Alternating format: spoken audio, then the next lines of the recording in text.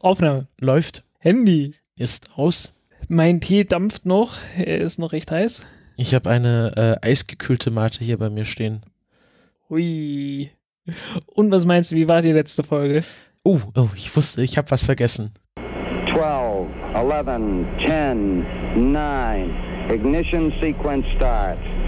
6, 5, 4, 3, 2, 1, 0. All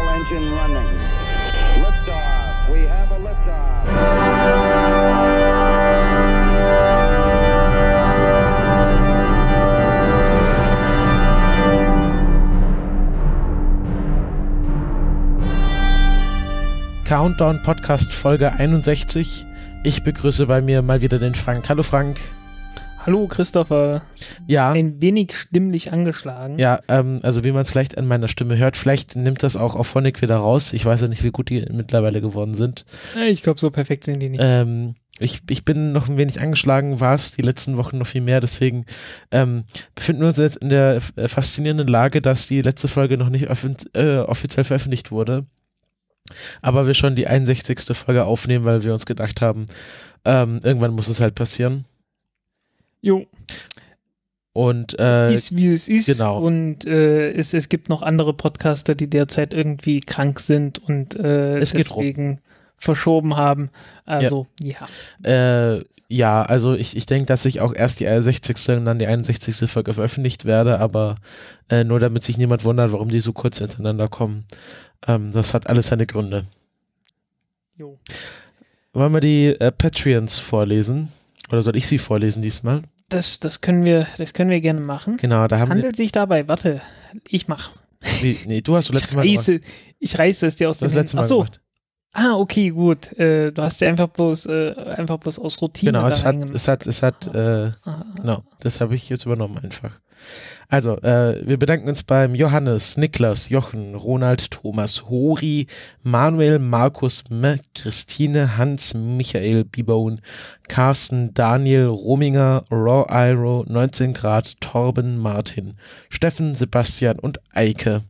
Und natürlich auch bei unseren lieben LiberaPay äh, Förderinnen und Förderinnen und Fördern, Fördere, nochmal, ich komme nochmal rein Liebe Menschen. bei uns genau bei unseren LiberaPay lieben Menschen und ähm, äh, ja bei allen, die uns äh, auch finanziell Und die sind, die sind anderweitig anonym, ne? unterstützen.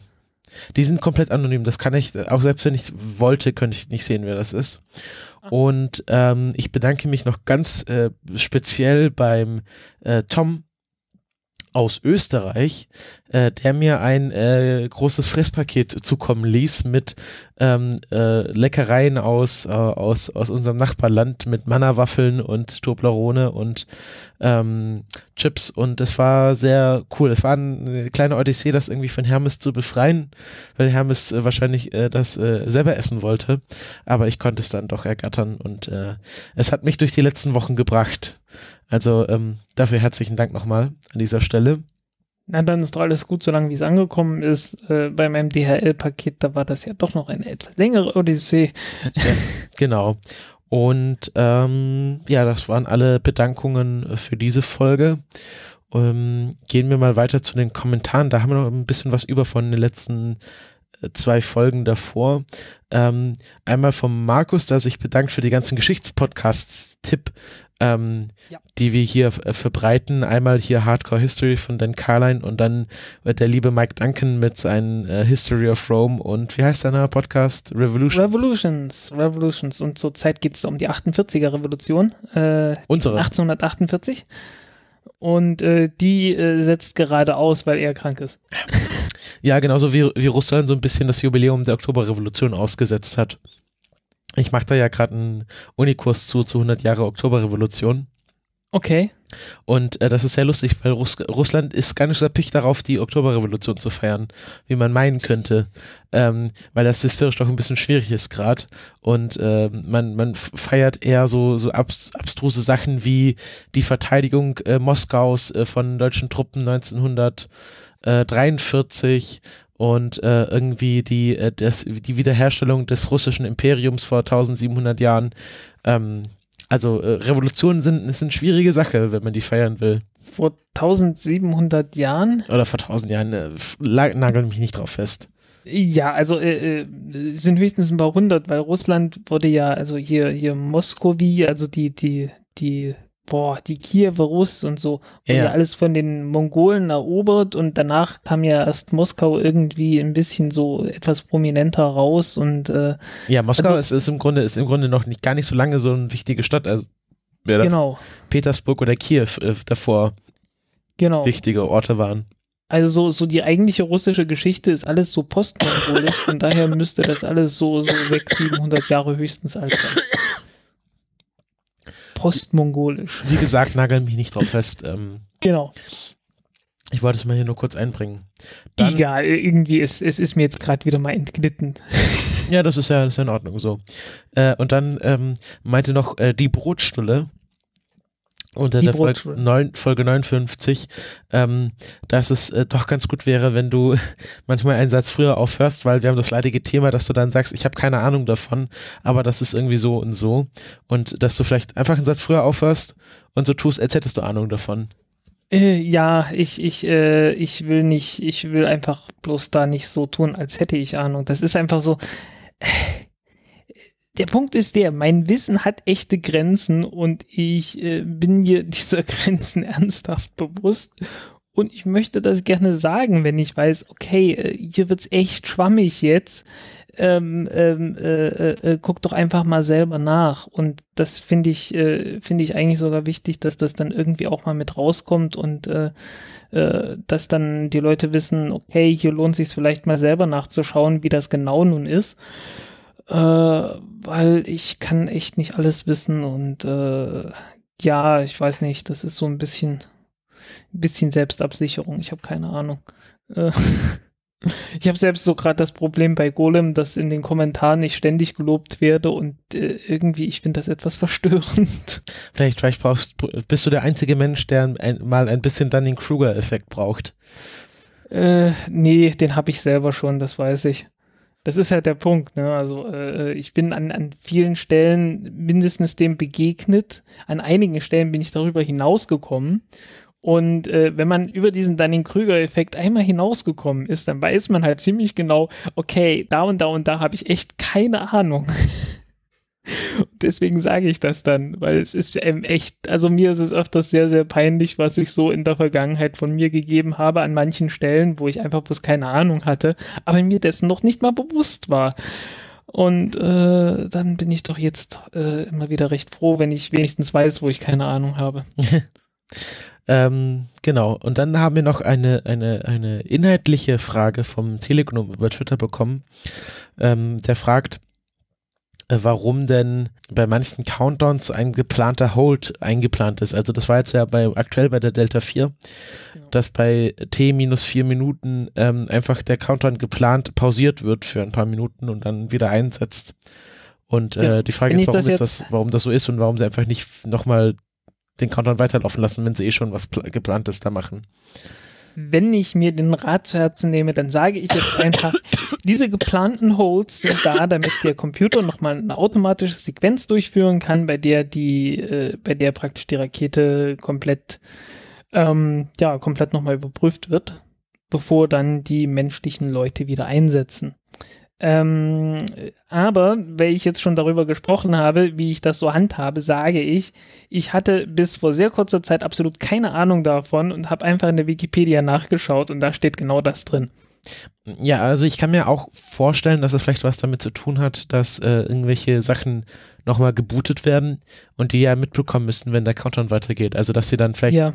davon verwirrt werden, wenn dein Countdown weiterläuft und die dann quasi so äh, irgendwie bei 3,56 äh, wieder hochgefahren sind und gar nicht wissen, wo jetzt ihnen der Kopf steht sozusagen. Mm, ich weiß nicht, ich finde es jedenfalls sehr merkwürdig äh, egal wie rum man das sieht, äh, weil äh, die geplanten Holds sind halt, weißt du, du hast dann geplante Hold äh, fünf Minuten, also 300 Sekunden und zwar auf die Sekunde genau. Und äh, wenn du etwas einplanst, das, äh, auf die, dass du auf die Sekunde genau bestimmen kannst, ja, dann, dann kannst du es auch gleich in den Countdown mit reinnehmen. Also ich, es ist irgendwie eine ziemliche Farce. Ja, ist so mein Eindruck. Ja, genau. Also wir wissen es auch nicht so genau, aber wir wollten mal äh, die Frage in den Raum stellen, wenigstens. Vielleicht äh, weiß ja jemand anderes mehr. Ähm, genau, das war's äh, zu den Kommentaren. Ähm, ich fange mal mit unserem ersten Thema an. Das ist äh, so ein kleines Update zur letzten Folge zu äh, dem interstellaren Asteroiden. Ähm, der jetzt einen Namen hat, nämlich 1i, das ist eine neue Klassifizierung, rede ich gleich drüber, 1i Umuamu, uh, warte kurz, das ist ein hawaiianischer Name, Umuamua, ähm, was sowas heißt Und Hawaiianisch hat bekanntlich nur zwölf Buchstaben, glaube ich.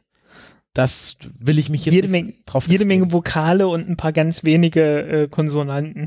Genau.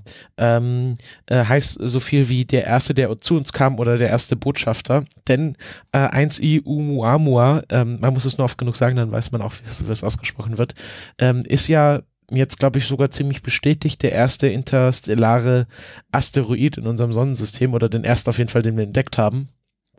ja.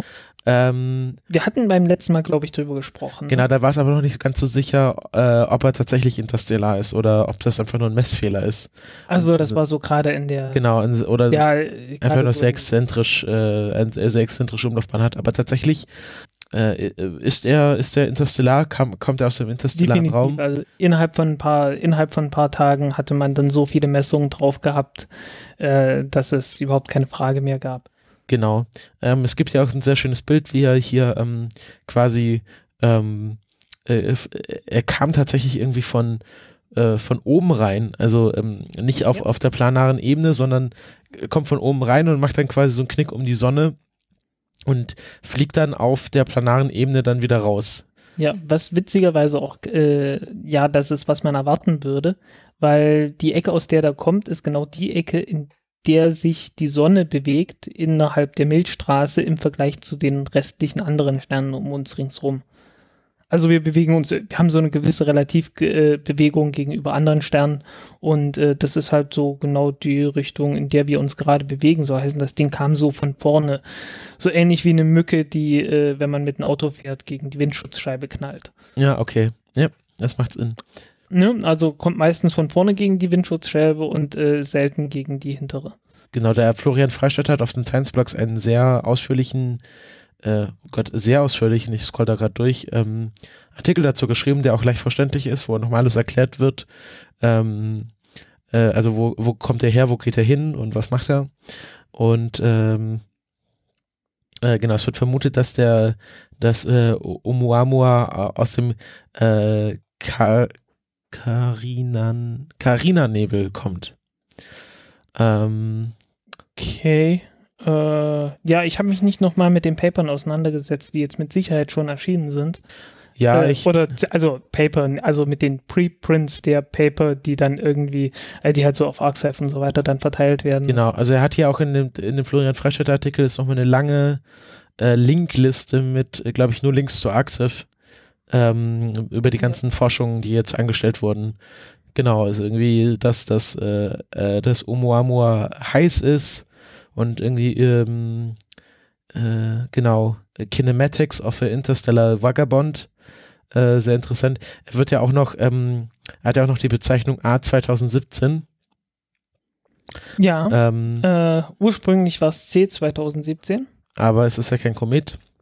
Genau. Äh, es war, also man, man hat es halt beobachtet und gesehen, äh, da ist keine Koma dran und die, also ja, ne, also keine. Kein Schweif. Keine, kein Schweif, was man halt bei einem Kometen, der in die Nähe der Sonne, und das Ding war ziemlich nah an der Sonne, äh, kommt, halt so erwarten würde.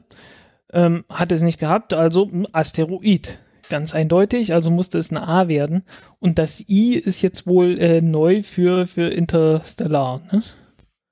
Äh, genau. Irgendwie. Genau, das ist, deswegen okay. ist es auch 1i.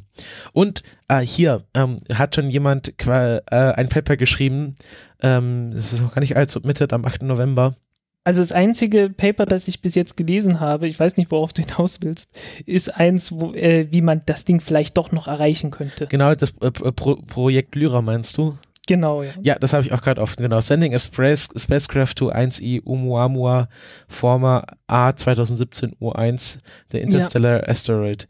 Ähm, ja, äh, ich habe mal so ein bisschen rumgerechnet und ich glaube, wird nichts. Glaub nicht. Ne? Ja, äh, die Sache ist halt die, er kann jetzt halt nicht warten, bis er wiederkommt. Also muss jetzt ja, auf den nächsten. Ähm, müsste innerhalb von kurzer Zeit irgendwas so äh, in sehr schnell, also sehr schnell beim Start von einer Rakete auf 30 Kilometern pro Sekunde äh, beschleunigen, so größenordnungsmäßig.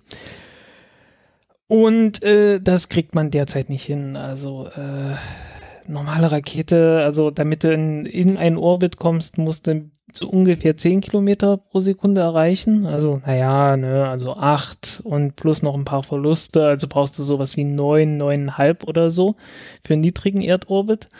Ähm, so, naja, und jetzt kannst du dir vorstellen, du musst dann praktisch, wenn du 30 Kilometer pro Sekunde erreichen willst, äh, musst du eine Rakete in deinen niedrigen Erdorbit bringen, die dann nochmal genauso viel Geschwindigkeit bringen kann, äh, wie äh, die Rakete, die sie dahin gebracht haben, hat. Und an Bord muss sie eine Rakete haben, die dasselbe nochmal machen kann. Ja, das ist wie diese 30 Kilometer pro Sekunde. Ja, das ist wie diese. Und das ist so der unterste Rand dessen, dass man es vielleicht noch, wenn man es jetzt sehr, sehr schnell hinkriegt, äh, das Ding innerhalb von 30 Jahren oder so irgendwo weit draußen erreichen kann. Ja. Äh, und dann brauchst du halt schon eine. Sonde, die dir einiges, äh, die halt so eine mehrere Meter große Antenne hat und sowas. Also dann hilft auch kein kleiner CubeSat oder sowas mehr. Ne? Also das heißt, das wird nichts. Ja. Ähm, ich habe, es gibt ja auch eine Animation ähm, von der von dem Flugverlauf von äh, 1i und ähm, was mir hier ein bisschen Sorge macht, also der ähm, ist im Grunde innerhalb von einem halben Jahr durch unser Sonnensystem durchgeflogen. Also yep. wenn man jetzt mal so das mit der, also die, die Erde hat sich quasi um, äh, hat eine halbe ja, nee, du kannst da, nee, du kannst das Ding nicht abfangen. Also das genau. Ding kommt, das Ding kommt und dann ist Pech. Genau, das Problem, so genau, also ich habe gerade überlegt, wenn der jetzt quasi auf Kollisionskurs mit der Erde gewesen wäre, ähm, also das kann halt immer passieren, dass da so ein, ein Asteroid aus dem Nichts auftaucht und einfach die Erde kaputt macht.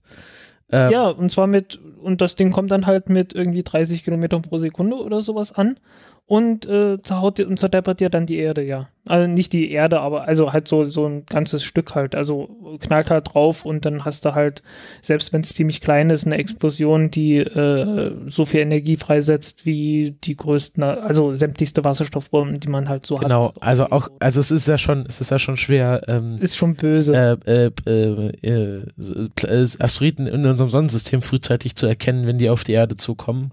Aber so ein interstellarer äh, Vagabund, nenne ich es mal, der einfach so aus dem Nichts auftauchen kann. Ich meine, der wurde jetzt auch nicht lang vorher entdeckt. Das ist ja nicht so, als hätten wir schon drei Jahre vorher nee, gewusst. hinterher. Ja, hinterher. Der wurde ja nicht vorher, der, der wurde erst hinterher, der war schon durch. Also es hätte auch sein können, dass, dass ähm, also so ein bisschen, um jetzt mal die existenzielle Angst in diesem Podcast hochzuschrauben. Das kann jede Sekunde passieren, dass hier ein Asteroid auf die Erde zufliegt und wir das vielleicht eine Stunde vorher wissen. Äh, nö, gar nicht. Also hast du ja, hast ja in Chelyabinsk gemerkt. Ja. Also das Ding ist rein und das war ja noch ein harmloser Fall. Das Ding kam irgendwo aus der ganz normalen, so, so aus der ganz normalen Asteroidensuppe, die halt bei uns im Sonnensystem so rumfliegt. Ähm, und das Ding kommt von sonst wo. Also, äh, nö, das, das ist einfach so, so ganz plötzlich, ist dann, macht es dann halt Plauz. Mehr genau. ist da nicht. Also da ist, ja, also du hast so, so eher so ein paar Sekunden und äh, ja, ich empfehle dann halt genau das, was man gelernt hat in den 60er Jahren, Duck and Cover. Nee, 50er Jahre war das, glaube ich. Ja. Äh, übrigens, äh, ein ernstzunehmender Rat. Also Duck and Cover war nicht, war jetzt nicht so irgendwie bloß ein Scherz. Also ähm, irgendwie sich hinter irgendwas also wenn es möglich Klar, ist. bei Atombomben ist es äh, gut, dass man irgendwie Schutz nimmt, dass man nicht super verstrahlt wird, aber ich glaube, wenn so ein Ast Nee, das, das ist, nee, äh, es, es, geht gar nicht mal darum. Es geht einfach darum, äh, das Ding kommt durch die Atmosphäre rein und wird tierisch heiß und äh, hat einfach Hitzestrahlung erstmal. Und äh, wenn du jetzt sehr, sehr schnell reagierst und dich sofort hinter irgendwas duckst, so dass du sozusagen im Schatten bist, äh, dann wird deine Haut nicht ganz so weit aufgeheizt und du hast Chancen, dass du nur mit Verbrennung zweiten Grades davon kommst, anstatt von äh, einer verkohlten Haut oder so. Das bringt ja aber nicht mal so viel, wenn die Erde zerstört ist. Das, äh, naja, äh, wieso? Also die, die Druckwelle, die hat, die ist deutlich begrenzter. Du hast dann durchaus Chancen. Ja. Du hast durchaus Chancen, die Druckwelle zu überleben. Also die, die Erde geht nicht kaputt davon. Es ist einfach bloß so ein lokales Ding halt. Und äh, ist halt lokal sehr, sehr, sehr böse. Ja. Also wir wollen das gar nicht weiter draus spekulieren. Ähm, äh, ich, wir wollen ja, dass ihr noch heute Nacht einschlafen könnt. Ähm, aber ähm, das war jetzt unser kurzes Update zu äh, 1i Oumuamua. Ja. Um, ist das ja- richtig? Oumuamua. Ja. Schöner, Ja. schöne Sprechübung. Ja. Äh, das erinnert mich an, daran, dass irgendein Chinesin hat gesagt, äh, also mit Churyumov Gerasimenko habe ich ja überhaupt keine Probleme. Aber 67p, das ist schlimm, Ja, das auszusprechen. War, glaube ich, auf Englisch. ja. 67p. 67p. Keine Ahnung warum. Ich habe keine Ahnung. Irgendwie, irgendwie hatte sie damit ein Problem gehabt. Genau. Ähm, also das war's zu äh, diesem äh, Thema. Möchtest du mal eins deiner Themen machen? Ähm, ja, äh, weil es gab ja noch eine andere astronomische Entdeckung zwischendrin. Ähm, und das hat zwar jetzt nicht direkt was mit Raumfahrt zu tun, aber was soll es? Äh, weil ähm, wir haben ja seit neuestem LIGO den Gravitationswellendetektor in äh, Amerika und äh, Virgo, glaube ich. Also wir haben auch in Europa so ein paar Detektoren. Die sind auch ganz wichtig. Äh, sind vor kurzem so äh, halt praktisch ans Netz gekommen, sozusagen. Ein sehr kleines Netz von drei Detektoren. Ähm, und äh, ja, damit kann man jetzt, wenn man jetzt äh, mehr Richtungen hat, ähm, etwas präziser bestimmen, woher diese Gravitationswellen kommen können. Und natürlich hat man erstmal gedacht, naja, äh, irgendwann wird schon wieder das nächste, die nächsten zwei äh, schwarzen Löcher kollidieren und dann werden wir das schon sehen. Äh, aber es ist was anderes passiert. Es sind zwei Neutronensterne kollidiert äh, und nah genug dran an der Erde, dass man, äh, dass die halt äh, trotzdem noch messbare äh, Gravitationswellen verursacht haben. Äh, Im Prinzip der Mechanismus ist der gleiche, ne? also äh, wie bei schwarzen Löchern, die Dinger kommen sich halt näher, ähm, äh, kreisen umeinander. Dadurch, dass sie sich umkreisen, ähm, strahlen sie sozusagen Gravitationswellen ab. Und äh, da ist natürlich eine Menge Energie mit drin und äh, da geht Energie weg und umso mehr Energie weggeht, umso näher kommen die aneinander dran und äh, irgendwann sind sie halt so nah aneinander, dass sie äh, ja kollidieren, dass sie sich berühren. Und äh, Neutronensterne haben so Durchmesser von äh, 10, 20 Kilometern der Größenordnung. Äh, von daher können die sich dann und sind dabei immer noch Sterne. Also die haben mehr als die Masse der Sonne ne? und umkreisen sich dann entsprechend innerhalb von einer Sekunde äh, einige zigmal. Und äh, ja, äh, ist relativ spektakulär, was dann passiert. Ähm, und kann man dann halt messen. Ja, äh, aus dem Grund kann man dann halt auch sagen, okay, es waren genau zwei Neutronensterne und nicht irgendwie ein Neutronenstern und ein, und ein weißer Zwerg oder so, äh, weil so ein weißer Zwerg äh, hat halt schon so eher so Erdausmaße, also so 1000 Kilometern oder so, glaube ich. Äh, also muss schon irgendwie ein Neutronenstern gewesen sein. Also zwei Neutronensterne. So, äh, die berühren sich, das macht dann irgendwann Kaplauz. Ähm, und äh, zuvor kriegt man halt das Signal von den Gravitationswellen. Und da half es doch äh, ganz erheblich, äh, dass man halt zwei so, äh, also jetzt nicht nur, nicht nur LIGO hatte, sondern auch den europäischen Ableger hatte. Und äh, dann mehr eingrenzen konnte, woher dieses Signal denn eigentlich kam. Äh, ja, das plauzte halt und ähm, Ah, ich glaube, mich zu erinnern, dass man gleichzeitig noch äh, Gamma-Blitze und so weiter alles beobachtet hat. Man konnte es dann relativ bald eingrenzen und man hat dann auch äh, ja halt diesen Blitz am Himmel sozusagen gefunden.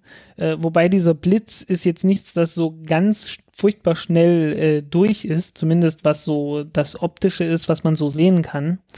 Ähm, einfach weil ja, das, das, Welt, das Weltall ist groß und äh, das Licht, das dabei frei wird, äh, ja, ähm, man muss sich das so vorstellen, diese Neutronensterne äh, knallen aufeinander, explodieren, einfach weil sie, weil die, ähm, ja, weil halt äh, jede Menge Energie noch zusätzlich dazukommt, äh, die so nicht eingeplant war in dem Gleichgewicht, in dem sich diese äh, Neutronen da drinne ähm, ja befunden haben.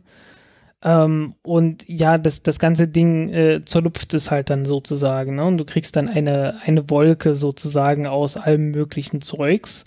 Dass ich, und dieses alle mögliche Zeugs, das bildet sich da gerade erst wieder neu, weil es sind halt Neutronensterne und da ist dann halt äh, irgendwie so eine Neutronensuppe drin und keine normalen Atome. Äh, ja. Ähm, und das ganze Zeugs, diese Trümmerwolke, die da rumfliegt, die hat halt dann so Ausmaße, die dann schon signifikant sind, was so Lichtgeschwindigkeit und so weiter angeht. Und äh, ja, alles, was da an Licht rausgestrahlt wird, was gar nicht mal wenig ist, wird dann halt so nach und nach von irgendwelchen Staub und sonstigen Kram, was vielleicht auch in dem Sonnensystem, was davor schon da war, äh, vorhanden war, wird dann nach und nach reflektiert. Und äh, ja, das dauert dann halt so lange, wie das Licht braucht, bis es dort ist, reflektiert werden kann und dann zu uns reflektiert werden kann. Und das äh, können dann durchaus so Stunden, Tage, Wochen, Monate und so weiter sein. Also das äh, braucht dann halt eine Weile.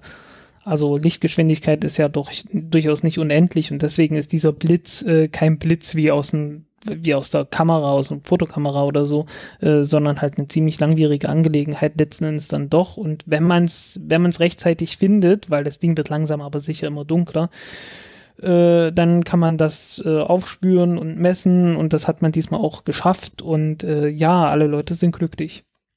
Ja, sehr schön. Ähm, das war ja dann, ich habe das auch in der Tagesschau gesehen, dass da darüber berichtet wurde die dann irgendwie sowas gesagt haben, ja, ähm, die, Ast die Astronomen konnten schnell genug ihre Teleskope ausrichten. Ähm, um ja, den, da ging es um halt so um einen halben Tag oder so, also so Stunden halt, ne? Ja, aber das ist ja nicht, weil, ähm, ähm, aber, aber wie ist das? Es ist ja, das passiert alles mit Lichtgeschwindigkeit. Also wenn die das messen, dann, also muss, müssen ja Sachen mit Überlichtgeschwindigkeit dann davor schicken, damit sie das dann auch beobachten können. Naja, also die, die Gravitationswellen, die kommen tatsächlich mit Lichtgeschwindigkeit an, hier. Mhm. Und äh, alle weiteren Prozesse, die brauchen ein bisschen mehr Zeit. Ne? Also äh, das Licht wird halt ausgesendet und wird dann nochmal irgendwie reflektiert und dann kommt es erst in unsere Richtung.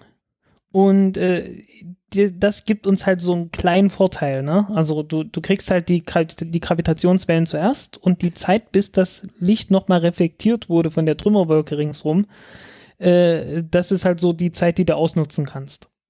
Okay. Und das ist die Zeit, äh, die du hast, um deine Teleskope auszurichten und sonst irgendwas. Und äh, ja, das geht dann halt auch. Und da wurde dann halt, ich hatte irgendwie sowas gelesen, irgendwie jeder fünfte Astronom auf, weltweit geschätzt äh, war irgendwie daran beteiligt. hm. So, naja, und sowas kam dann irgendwie nach drei Wochen aus dem Embargo raus. Also ich finde sowas, ich finde sowas echt bescheuert, ähm, dass solche Entdeckungen dann nicht einfach mal öffentlich gemacht werden, nachdem man es äh, entdeckt hat und nicht erst irgendwie nach drei Monaten oder sonst irgendwas. Äh, ja, weil ich meine, irgendwie es, es waren jede Menge Leute daran beteiligt und äh, ja, dann wurden dann, ja, irgendwie Leuten, die irgendwie präferiert wurden, wurden dann vorher schon Interviews gegeben und äh, ja, ich bin da ein bisschen sauer einfach.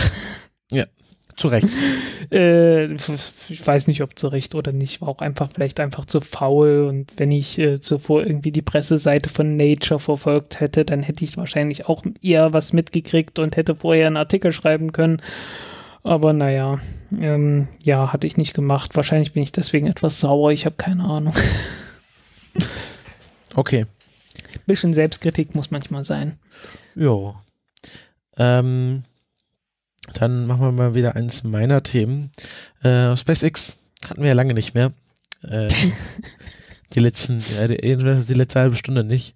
Ähm, den ist ja, den ist ja ein, Tat, ein Triebwerk abhanden gekommen. Zum Glück war das noch nicht an einer Rakete montiert. Es war noch nicht mal, es war noch nicht mal so, dass es war an einer Rakete, es war noch nicht mal ein Triebwerk, das man an einer Rakete, die derzeit fliegt, äh, hätte montiert gehabt. Oder so. Ja, genau, und es war noch nicht mal angeschaltet. Ähm, also es geht um das, äh, es geht um ein Merlin-Triebwerk äh, für äh, Block 5 der Falcon 9, also die nächste Generation der Falcon 9 Rakete, ähm, was ähm, vor einer Woche äh, auf einem Teststand äh, an der, auf der McGregor Air Force Base äh, explodiert ist. Und Übrigens gibt es jetzt ein geiles Video von diesem Teststand und der ganzen Anlage von McGregor, ach echt? von SpaceX. Hast du mal einen Link dazu? Ähm, ja, ich hatte das auch vertweetet. Irgendwie gab es da einen netten Kommentar. Äh, da, da, da, hier, SpaceX McGregor. Äh, ähm, ich pack's mal hier in das Google Doc da mit rein. Da, Okay. Ähm, ja, auf jeden Fall ähm, ist, ähm, ähm, ist, ist, ist das deshalb wahrscheinlich passiert, nicht weil das irgendwie getestet wurde, sondern ähm, zum Test füllen die das manchmal komplett auf mit äh, flüssigem äh, Sauerstoff, um äh, Ja, zu schauen, ob es leckt. ob's die Kälte aushält. Genau, ob es die Kälte aushält. Und offensichtlich hat es nicht die Kälte ausgehalten, weil da gab Oder es was auch immer da passiert. Genau, Kann also manchmal es- auch sein. Kann ja auch irgendwie was, äh, eine Verunreinigung sein oder so, ne? Dass da irgendwas, das da zusammen mit dem Sauerstoff äh, reagiert hat und dann irgendwie, was weiß ich. Genau, ähm, also äh, SpaceX ist sich noch selber nicht so sicher, was da passiert ist und sie meinen, dass ähm, die Aufarbeitung dieses Unfalls mehrere Wochen dauern wird. Ja. Also sie meinen irgendwie, ich hatte sowas gelesen wie, äh, es wird zwei bis vier Wochen dauern, dass der Teststand, auf dem das passiert ist, wiederhergestellt ist. Der benachbarte innerhalb von ein paar Tagen sollte also schon lange wieder laufen. Genau. Ähm, was so ein bisschen zeigt, ähm, ja, äh, da ist was passiert. Das wird wohl auch recht spektakulär ausgesehen haben, aber ganz so schlimm war es nicht. Äh, zumindest nicht so schlimm wie das, was äh, der ULA passiert. Nee, nicht der ULA, äh, hier Blue Origin passiert ist. Ähm, wo dann halt mehrere Monate das, der ganze Teststand neu aufgebaut werden musste. Ja. Also ganz so schlimm scheint es dann wohl doch nicht zu sein. Einfach eine Rapid Unplanned äh, Disassembly. Ja. Ähm, Ähm, und es wird auch was keine, es, was keine, übrigens Flüge, war, war ja, keine Flüge beeinflussen. Also ähm, der Flugkalender wird eingehalten. Ähm, das Ganze war ein Qualifikationstest für äh, eine, äh, ja, für ein Merlin 1D-Triebwerk von dem Block 5 der, äh, der Falcon 9 Rakete. Und dieser Block 5 ist äh, ja nochmal etwas leistungsfähiger und ähm, ja, also ist noch nicht im Einsatz. Und deswegen äh, verschiebt sich dadurch jetzt auch nichts. Also ist nicht so, dass man jetzt äh, deswegen den nächsten Start nicht, nicht durchführen kann, einfach weil es ein anderes Triebwerk ist. Genau. Äh, das war es eigentlich schon äh, zu SpaceX noch eine kleine Spekulation. Ähm, die SpaceX ist ja hartnäckig, äh, behauptet ja hartnäckig, dass sie noch dieses Jahr die Falcon Heavy fliegen werden. Und ähm, es wird wahrscheinlich dann Ende Dezember soweit sein. Und wenn wir Glück haben, 29. Dezember, ne? haben sie gesagt, oder wie? Äh, hatte ich gelesen irgendwo. Ja, ich, also hab's, ich bin mir nicht ganz sicher, aber ich, bin, ich habe irgendwie diesen 29. Dezember gerade sehr stark im Kopf. Also wenn wir Glück haben, äh, passiert das, während wir auf dem Kongress sind. Und dann wird es natürlich ein äh, Falcon Heavy Live Public Viewing geben äh, in der äh, im C3-Sock der Weltraum Assembly auf dem 3 34C3. Jo. Und wir werden das auch äh, hinreichend bekannt machen, dass alle Leute, die da sind, äh, da mit uns gemeinsam das schauen können. Ich hoffe ja, dass das so klappt, dass das so hinkommt. Das wäre ziemlich cool. Jo. Ja, apropos, äh, oh Gott, wie, wo, wo fange ich an? Nee, nee, mach du mal. Nee, ach scheiße, ich habe ich hab so viele Themen. Die müssen schon weg. So ein Mist. Ähm, ja, was, ach, ich nehme jetzt einfach mal eins. Ähm, und zwar, äh, wir hatten ja jetzt vor kurzem den Start einer Antares-Rakete äh, von, von, von Dingens hier. Äh, äh, Orbital ATK. Grumman, Orbital äh, ATK, Theoko, sonst wem. Äh, ich habe immer noch keine Ahnung, wie die sich jetzt genau nennen. Die sagen immer noch Orbital ATK. Ich bin gespannt, ob es irgendwann nur noch äh, Northrop Grumman oder irgend sowas ist. Ähm, ja, und äh, da hat sich dann der, der neueste Start der Antares-Rakete äh, doch etwas verzögert, äh, weil da halt mal wieder ein äh, Wayward Airplane war. Also so heißen, da ist irgendwo ein kleines Sportflugzeug gestartet und ist so knapp in diese, Aus in diese Verbotszone reingeflogen. Gleichzeitig äh, war der Pilot wohl nicht am Funk, so heißen, die konnten den auch nicht anrufen und damit hatte es sich geschehen. Also damit war es geschehen und äh, der ganze Start musste halt abgebrochen werden. Ähm, ja, und am nächsten Tag, äh, das war gestern, ähm, äh, sah es auch wieder so ähnlich aus. Da war es ein Boot, aber das haben sie noch rechtzeitig wieder rausgekriegt. Haben sie noch rechtzeitig wieder verscheucht. Ähm, also die, die Leute waren doch, doch schon irgendwie merklich genervt. Ja, irgendwie müsste man meinen, dass, dass sie dort an der Space Coast wissen, wenn sie aus irgendwelchen Zonen raus sein müssen. Ja, äh, vielleicht kann man das auch, äh, äh, ja, man kann sich überlegen, ähm, lohnt es sich, äh, also vielleicht mal mehrere Zonen zu machen, weil äh, diese Verbotszonen sind ja doch ziemlich groß. Äh, Im Allgemeinen kommen irgendwelche Trümmerteile nur in der Mitte runter.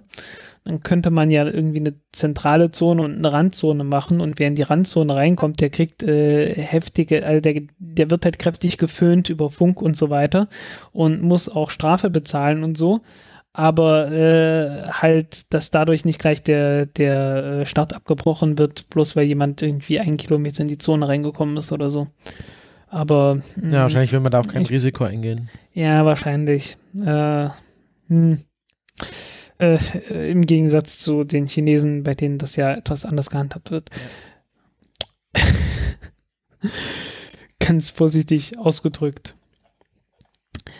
Ähm, ja, äh, ja, Orbit Sciences äh, war mal, war ja mal eine, eine, Firma, was so der große Konkurrent von SpaceX war.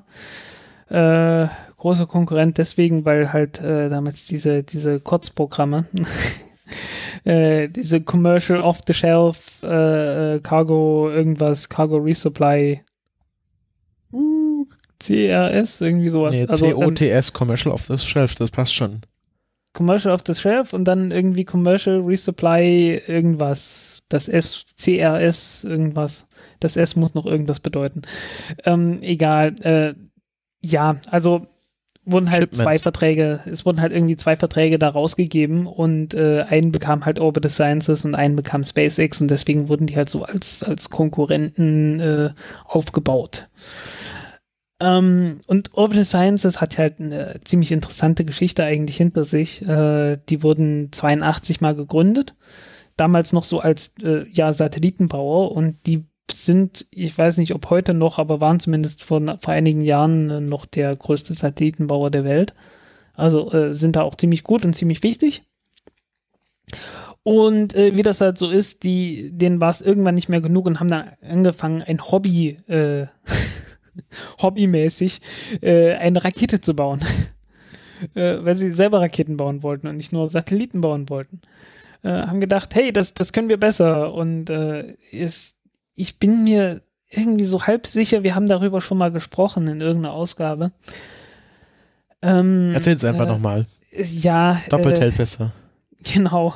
Ähm, ja, also es, es gibt da halt so diese Legende, äh, dass diese, dass diese ähm, Rakete damals entstanden ist, wirklich so auf eine Serviette äh, bei irgendeinem Anlass äh, mal drauf gezeichnet, äh, was halt die Pegasus-Rakete war, also eine kleine Rakete mit Flügeln, die von einem, von einem Flugzeug aus äh, abgeworfen wird und mit Feststoffboostern dann halt äh, einen relativ kleinen Satelliten in eine Umlaufbahn bringen konnte. Ähm, das Ding sollte billiger sein als alles, wo gibt, ne?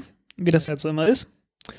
Äh, ja, äh, eigentlich ist das eine sehr beeindruckende Geschichte, weil da haben 50 Leute dran gearbeitet an der Entwicklung äh, und zwar zu höchsten Zeiten, also so in Spitzenzeiten waren es 50 Leute. Äh, und ja, das waren am Anfang noch weniger. Äh, und innerhalb von vier Jahren haben die es geschafft, von einer Zeichnung auf der Serviette äh, diese Rakete äh, zu entwerfen und zu bauen und zum ersten Mal zu starten. Also irgendwie 86 soll sich das zugetragen haben und dann 1990 äh, ist die das erste Mal geflogen. Äh, was durchaus beeindruckend ist. No? Also äh, ja, und das war halt so das erste privatwirtschaftliche Unternehmen, das eine eigene Rakete gebaut und erfolgreich gestartet hat. Also erfolgreich im Sinne von auch mehr als nur einmal. Ich glaube, da gab es noch eine andere, die, die es einmal geschafft hat, aber nur ein Testsatelliten und dann nie wieder. Äh, ich komme gerade nicht auf den Namen. äh, Conestoga-Rakete, müsste man gucken. Conestoga Rocket. Also, das war das andere private Unternehmen. Ja, Äh, Conestoga. Ja. Die Conestoga 1 Rakete wurde einmal, ist einmal äh, erfolgreich geflogen. Das Genau, basierend so auf zwei 80er Jahren. Stufen abgerüsteter Minuteman-Raketen.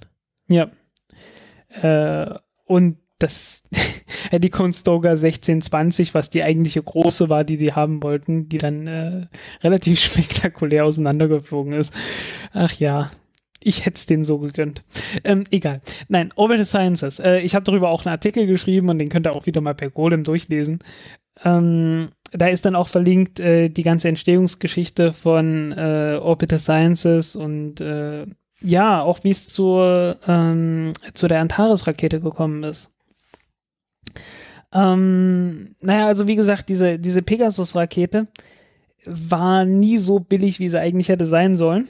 Äh, liegt halt auch daran, dass sie von einem Flugzeug aus gestartet wird und äh, naja, irgendwann, also am Anfang hatte man so B-52-Bomber von der, von der Air Force genommen. Und irgendwann haben die gesagt, äh, ja, äh, macht doch euren Scheiß alleine. Wieso wollt ihr immer von uns unsere schönen B-52-Bomber haben? Und dann haben die irgendwie eine äh, irgendein komisches Flugzeug äh, von der kanadischen Airline gekauft. Äh, das aber ganz gut dafür geeignet war und das die bis heute noch benutzen. Äh, immer noch das gleiche. Äh, und ja, hat halt bloß so ein paar Flugstunden pro Jahr, ne? Äh, Und ist alles irgendwie nicht so ganz effizient. Ja, lange Rede, kurzer Sinn. So ein Start von dem Ding kostet heutzutage 50 bis 55 Millionen Dollar. Äh, hat eine Nutzlast von irgendwie einer halben Tonne oder was in der Größenordnung. Und äh, kostet damit praktisch genauso viel wie äh, eine Falcon 9 Rakete von SpaceX, die eine Nutzlast von in einem niedrigen Orbit äh, jenseits von 10 Tonnen hat. Ja, ist jetzt nicht so ganz der Brüller, was die Effizienz angeht, Ja, was die Preiseffizienz angeht. Ähm, aber dafür hat Orbital ATK die richtige Lobby wahrscheinlich. Ja, die hatten damals die richtige Lobby, einfach weil es keine Konkurrenz gab. Also die, die waren halt die Leute, die kleine Raketen hatten und es gab nichts kleineres, alles andere war noch teurer und ja. hm.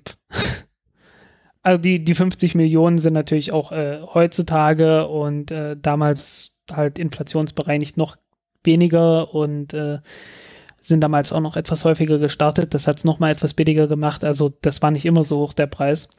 Mhm. Aber immer noch trotzdem äh, deutlich höher als diese 6 Millionen, die sie mal irgendwie geplant hatten.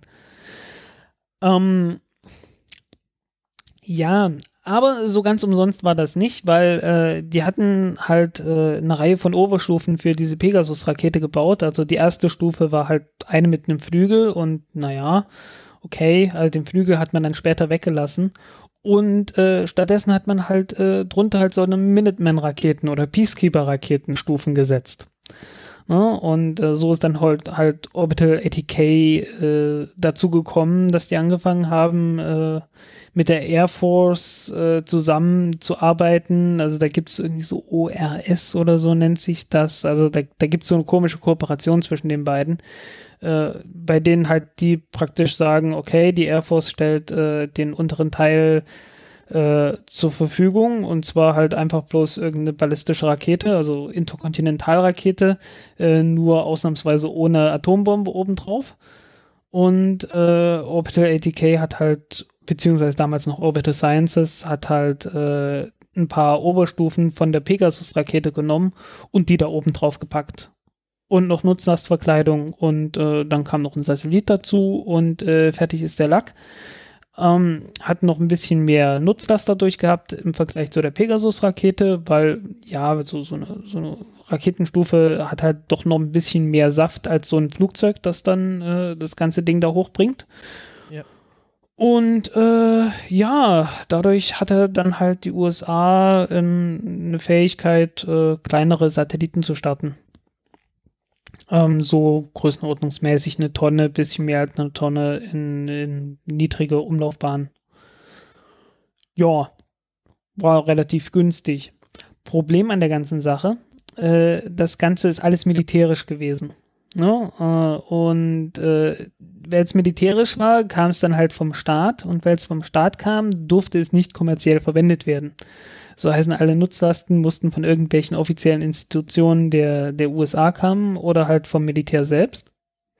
Und äh, kommerziell war nicht so richtig drin. Wollte Orbital Sciences aber auch kommerzielle Satelliten mit eigenen Raketen starten können. Und äh, ja, was macht man?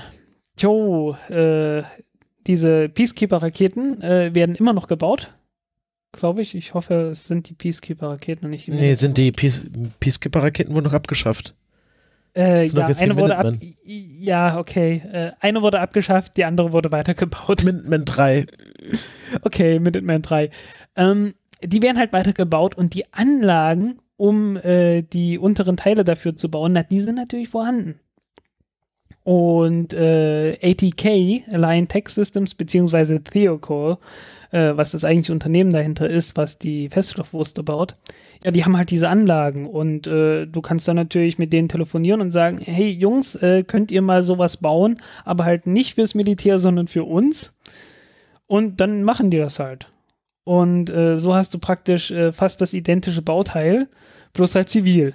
Und äh, dann kannst du das identische Bauteil halt nehmen, äh, ist dann halt nicht irgendwie, hat dann halt nicht irgendwie 20, 30 Jahre oder was weiß ich wie lange, 20 Jahre oder so, in einem Silo rumgestanden, sondern ist dann halt brandneu, direkt aus der Fabrik und dann kannst du das verwenden und kannst auch für kommerzielle äh, Satelliten verwenden, weil es halt, äh, ja, hast halt beim Hersteller gekauft, ne? Und äh, dieses Ding nennt sich dann Taurus-Rakete. Ähm, die kam nach der Minotaurus. Also diese Minotaurus-Rakete, ja, also so halb Mensch, halb Stier, ne? Der Minotaurus äh, hatte wahrscheinlich, äh, also da hatte man schon so, so ein bisschen die äh, Anwandlung gehabt zu sagen, naja, es ist halt so halb militärisch, halb zivil oder irgend sowas. Äh, kann auch sein, dass der Name ganz woanders herkommt. Aber zumindest mich hat es immer daran erinnert ja, Taurus-Rakete ist dann halt ein reiner Stier. Äh, komplett kommerziell ge äh, gewesen. Und äh, ja, das Ding ist äh, neunmal geflogen. Mhm. Beziehungsweise jetzt äh, unter der Bezeichnung Minotaurus C noch ein zehntes Mal. Und äh, ja, dieser Namenswechsel hatte einen Grund. Denn die neun Flüge davor waren ja kein Ruhmesblatt. Also die ersten fünf Flüge schon. Die ersten fünf Flüge der Taurus-Rakete waren super. Der sechste dann nicht mehr so. Da gab es irgendein Problem mit einer Stufe, mit einer Raketenstufe. Äh, dritte Stufe oder irgend sowas. Also da, da gab es ein Problem auf jeden Fall und Satellit nicht hingekommen, fertig. Ähm, ja, passiert halt so. Ähm, nächster Flug war wieder erfolgreich. Zwischendurch hatte die NASA ähm, ja einen Auftrag vergeben also mehrere Satelliten gebaut und äh, eins davon war das Orbital Carbon Observatory und das andere war Cryosat oder sowas. Ja. Ich bin mir nicht hundertprozentig sicher. Und äh, ja, zwei wichtige Satelliten äh, für die NASA im Wert von zusammen 700 Millionen US-Dollar. Und beide Male wurde die Rakete gestartet, beide Male ist die Nutzlastverkleidung nicht aufgegangen. Oh je. Oh je. Ja, genau. Äh, und dann ist die, also die Taurus-Rakete ist daraufhin nicht wieder geflogen. Mindestens nicht unter ihrem alten Namen. Äh, zur gleichen Zeit, das war so äh, 2009 und 2011, was genau die Zeit war, als die, ähm, als diese ganzen äh, äh, Kotz-Dinger liefen, also die ganzen Verträge zur, äh, zur, für die Fracht zur ISS lief ein Projekt, das nannte sich damals noch Taurus 2. Das war der Projektname. Äh, weil man war halt eigentlich relativ stolz gewesen lange Zeit auf diese Taurus-Rakete und man wollte halt lieber ein und hat dann halt das Projekt zur Entwicklung eines einer noch größeren Rakete dann halt einfach Taurus 2 genannt. Äh, was natürlich etwas ungünstig war, dass man das Projekt auch so in der Öffentlichkeit Taurus 2 genannt hat äh, als die Taurus-Rakete äh, äh, anfing, irgendwie ziemlich teure Satelliten zu vernichten. Und äh, der Witz ist, schon zuvor, vor diesem ganzen Problem mit der Taurus-Rakete, hatte diese Taurus-2-Rakete den Namen Antares gehabt.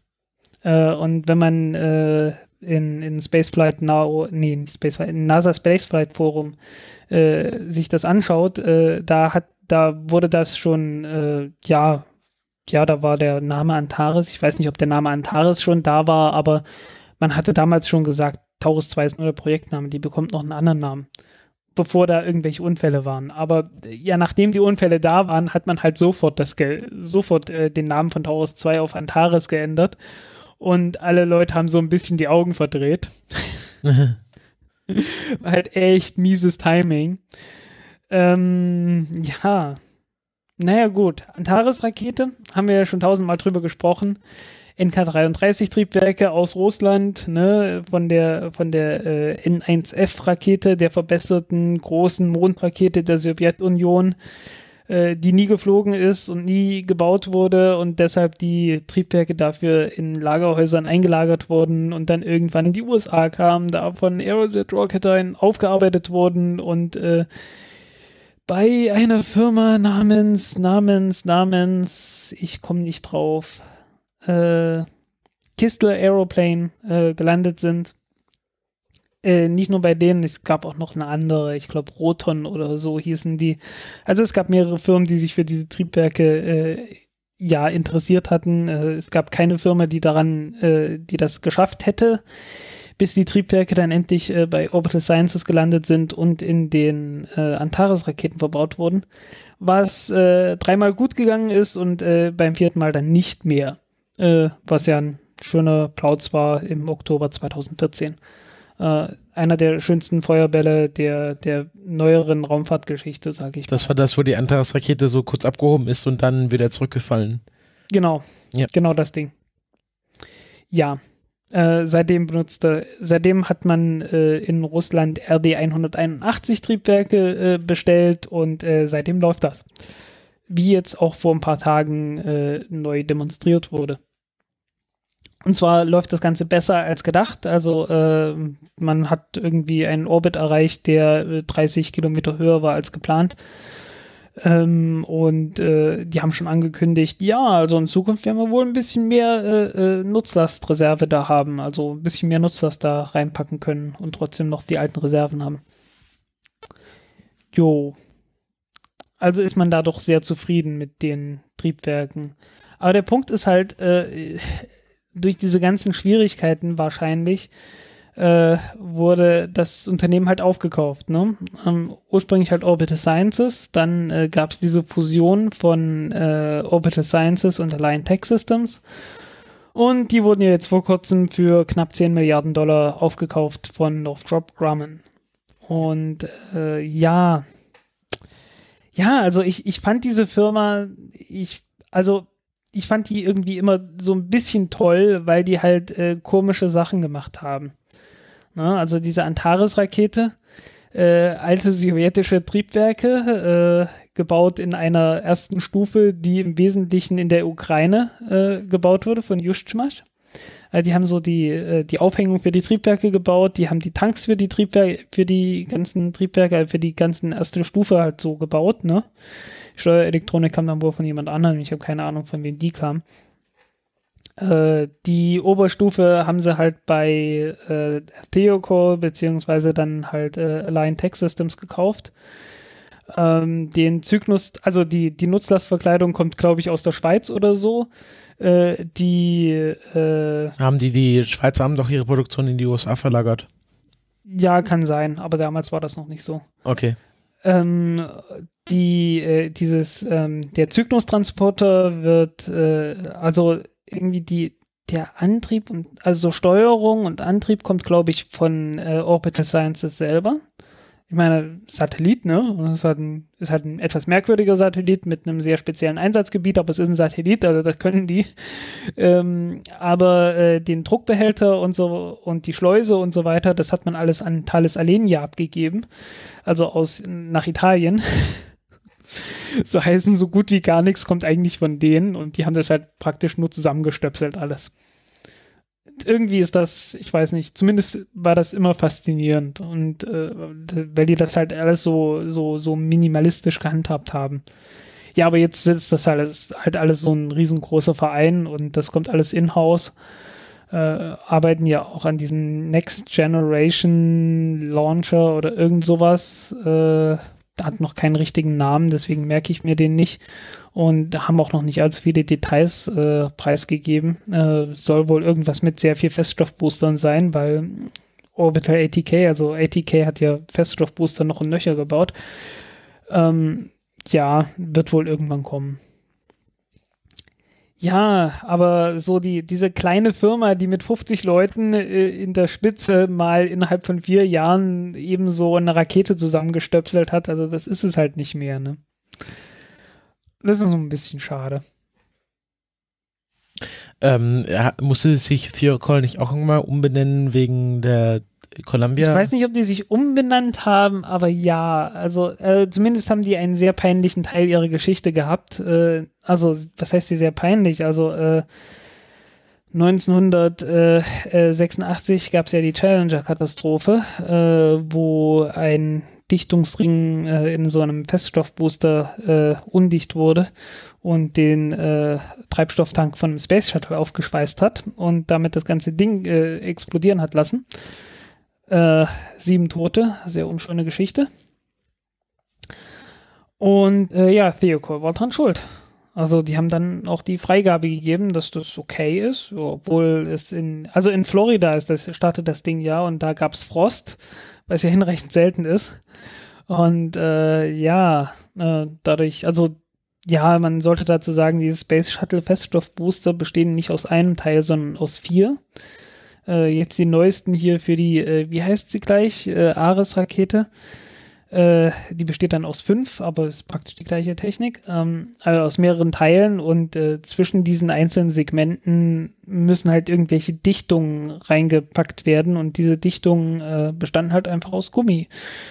Und äh, der muss halt dicht halten. Und äh, dicht halten kann der nur, also weil das, das Ding vibriert ja und die Abstände verändern sich so ein bisschen immer. Und äh, der und man packt dann halt Gummi dazwischen, damit sich der Gummi halt, weil er flexibel ist, äh, sich diesen, diesen Vibrationen anpassen kann und äh, das Ding halt dicht hält. Äh, wenn es kalt ist, dann ist der Gummi aber nicht mehr so flexibel, wie wenn er warm ist.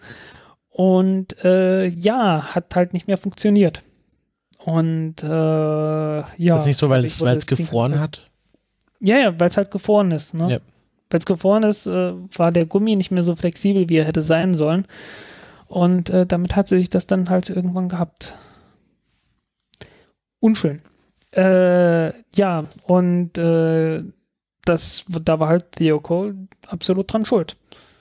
Mhm. Äh, ja, und, und äh, dass die NASA nicht auf ihre eigenen Ingenieure gehört hat, die gesagt haben, dass man den Start verschieben müsste. Genau. Ähm, hatte übrigens noch ein anderes Nachspiel, das äh, noch äh, deutlich spektakulärer war, äh, nämlich das Pepcon-Desaster. Äh, Pepcon war die Firma, die den Treibstoff hergestellt hat für diese Feststoffbooster. Und die hatten sich halt eingerichtet auf äh, jede, sehr, sehr viele Bestellungen. Also äh, so Feststoffbooster wiegen halt mal eben so 1000 Tonnen oder so. Ich müsste gucken. Ja, SRB, also Solid Rocket Boosters. Also ich, ich habe hier meine, ich habe ja mein Google sehr gut trainiert. Die wissen ja, äh, nee, doch nicht. Ich dachte, bei SRB kommt dann sofort Raumfahrt, aber nein, da kommt Single Resolution, ba äh, Single Resolution Board. Äh, naja, egal. Ähm, SRB Shuttle. Äh, Mist. Äh, wie viel wiegen die Dinger? Wie viel wiegen sie? Wie viel wiegen sie? 600 Kilo. Na, 600 Tonnen. Okay. Also, ne, also jeder Start so 1000 Tonnen Treibstoff. Was in der Größenordnung brauchst du? Und äh, wenn du geplant hast, okay, jetzt jedes Jahr acht Starts oder so oder zwölf oder wie viele auch immer geplant waren, es waren jede Menge, äh, dann lässt du natürlich einfach die, die Produktion erstmal laufen. Und äh, ja, dann hast du sehr schnell ein Platzproblem, weil du, produ du produzierst halt noch aber es wird nicht mehr abgenommen. Und dann haben die das gelagert in irgendwelchen Plastikfässern. Äh, und zwar, ähm, ähm, was war's? Äh, Ammoniumperchlorat. Und Ammoniumperchlorat äh, macht so 70 Prozent von dem Treibstoff aus. Also das, das sind ernsthaft große Mengen, die die dort gestapelt hatten. Das waren ein paar tausend Tonnen. Und das Zeug ist explosiv. Und äh, diese Plastikfässer waren dafür nicht gedacht. Und irgendwann hat es dort angefangen zu brennen. Oh, das ist natürlich schlecht. Und es gibt sehr schöne Aufnahmen, äh, wie das Ganze explodiert. Mit einer Sprengkraft von ein paar Kilotonnen. Mhm. Ja, das hat sehr mächtig Plauz gemacht. Pepcon Explosion. Ah, es wird schon hier bei YouTube Auto vervollständigt. Ja, ja. Ähm, Verdammt, also das ist jetzt total abgeschwiffen. Ich wollte das, also ich, ja. oh ja, das brennt, brennt ja ganz gut. Also, äh, Ja, also äh, alles, was was mit Chlorat zu tun hat, ist schon mal ein guter Kandidat für ziemlich gute Oxidator und brennt wahrscheinlich recht gut. Also es gibt gute Gründe, warum Kaliumchlorat im Schwarzpulver von irgendwelchen Feuerwerkskörpern nicht erlaubt ist. Äh, in Polenböllern ist das übrigens drin. Deswegen knallen die so schön. ah, hier gibt's auch, äh, nee, das ist hier vom Discovery Channel, das ist ja, oh ja, äh, irgendwie äh, haben die das äh, von drei, drei Kilometern Entfernung gefilmt. Ja, und äh, ich finde dieses, dieses Video ist faszinierend, weil da einer war, der schlau war. Weil äh, es gibt, also es ist halt aus ein paar Kilometern Entfernung und wir wissen alle, wie lange Schall braucht, um von A nach B zu kommen. Und soll heißen, äh, die Leute haben halt äh, gesehen, okay, da explodiert was. Und es gab zuvor schon ein paar kleinere Explosionen und die waren wohl schon ziemlich laut. Ähm, und knallt halt dann so ein paar Sekunden später und dann irgendwie so, man sieht so, aha, da ist ein großes, ein großer Feuerball. Ähm, man sieht so die Schockwelle, wie sie sich ausbreitet für ein paar Sekunden.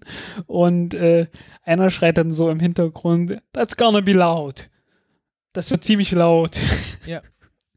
Und äh, ich glaube nicht, dass er enttäuscht wurde. Irgendwie ist da auch irgendeine Kuh ins, äh, in die Schockwelle geraten.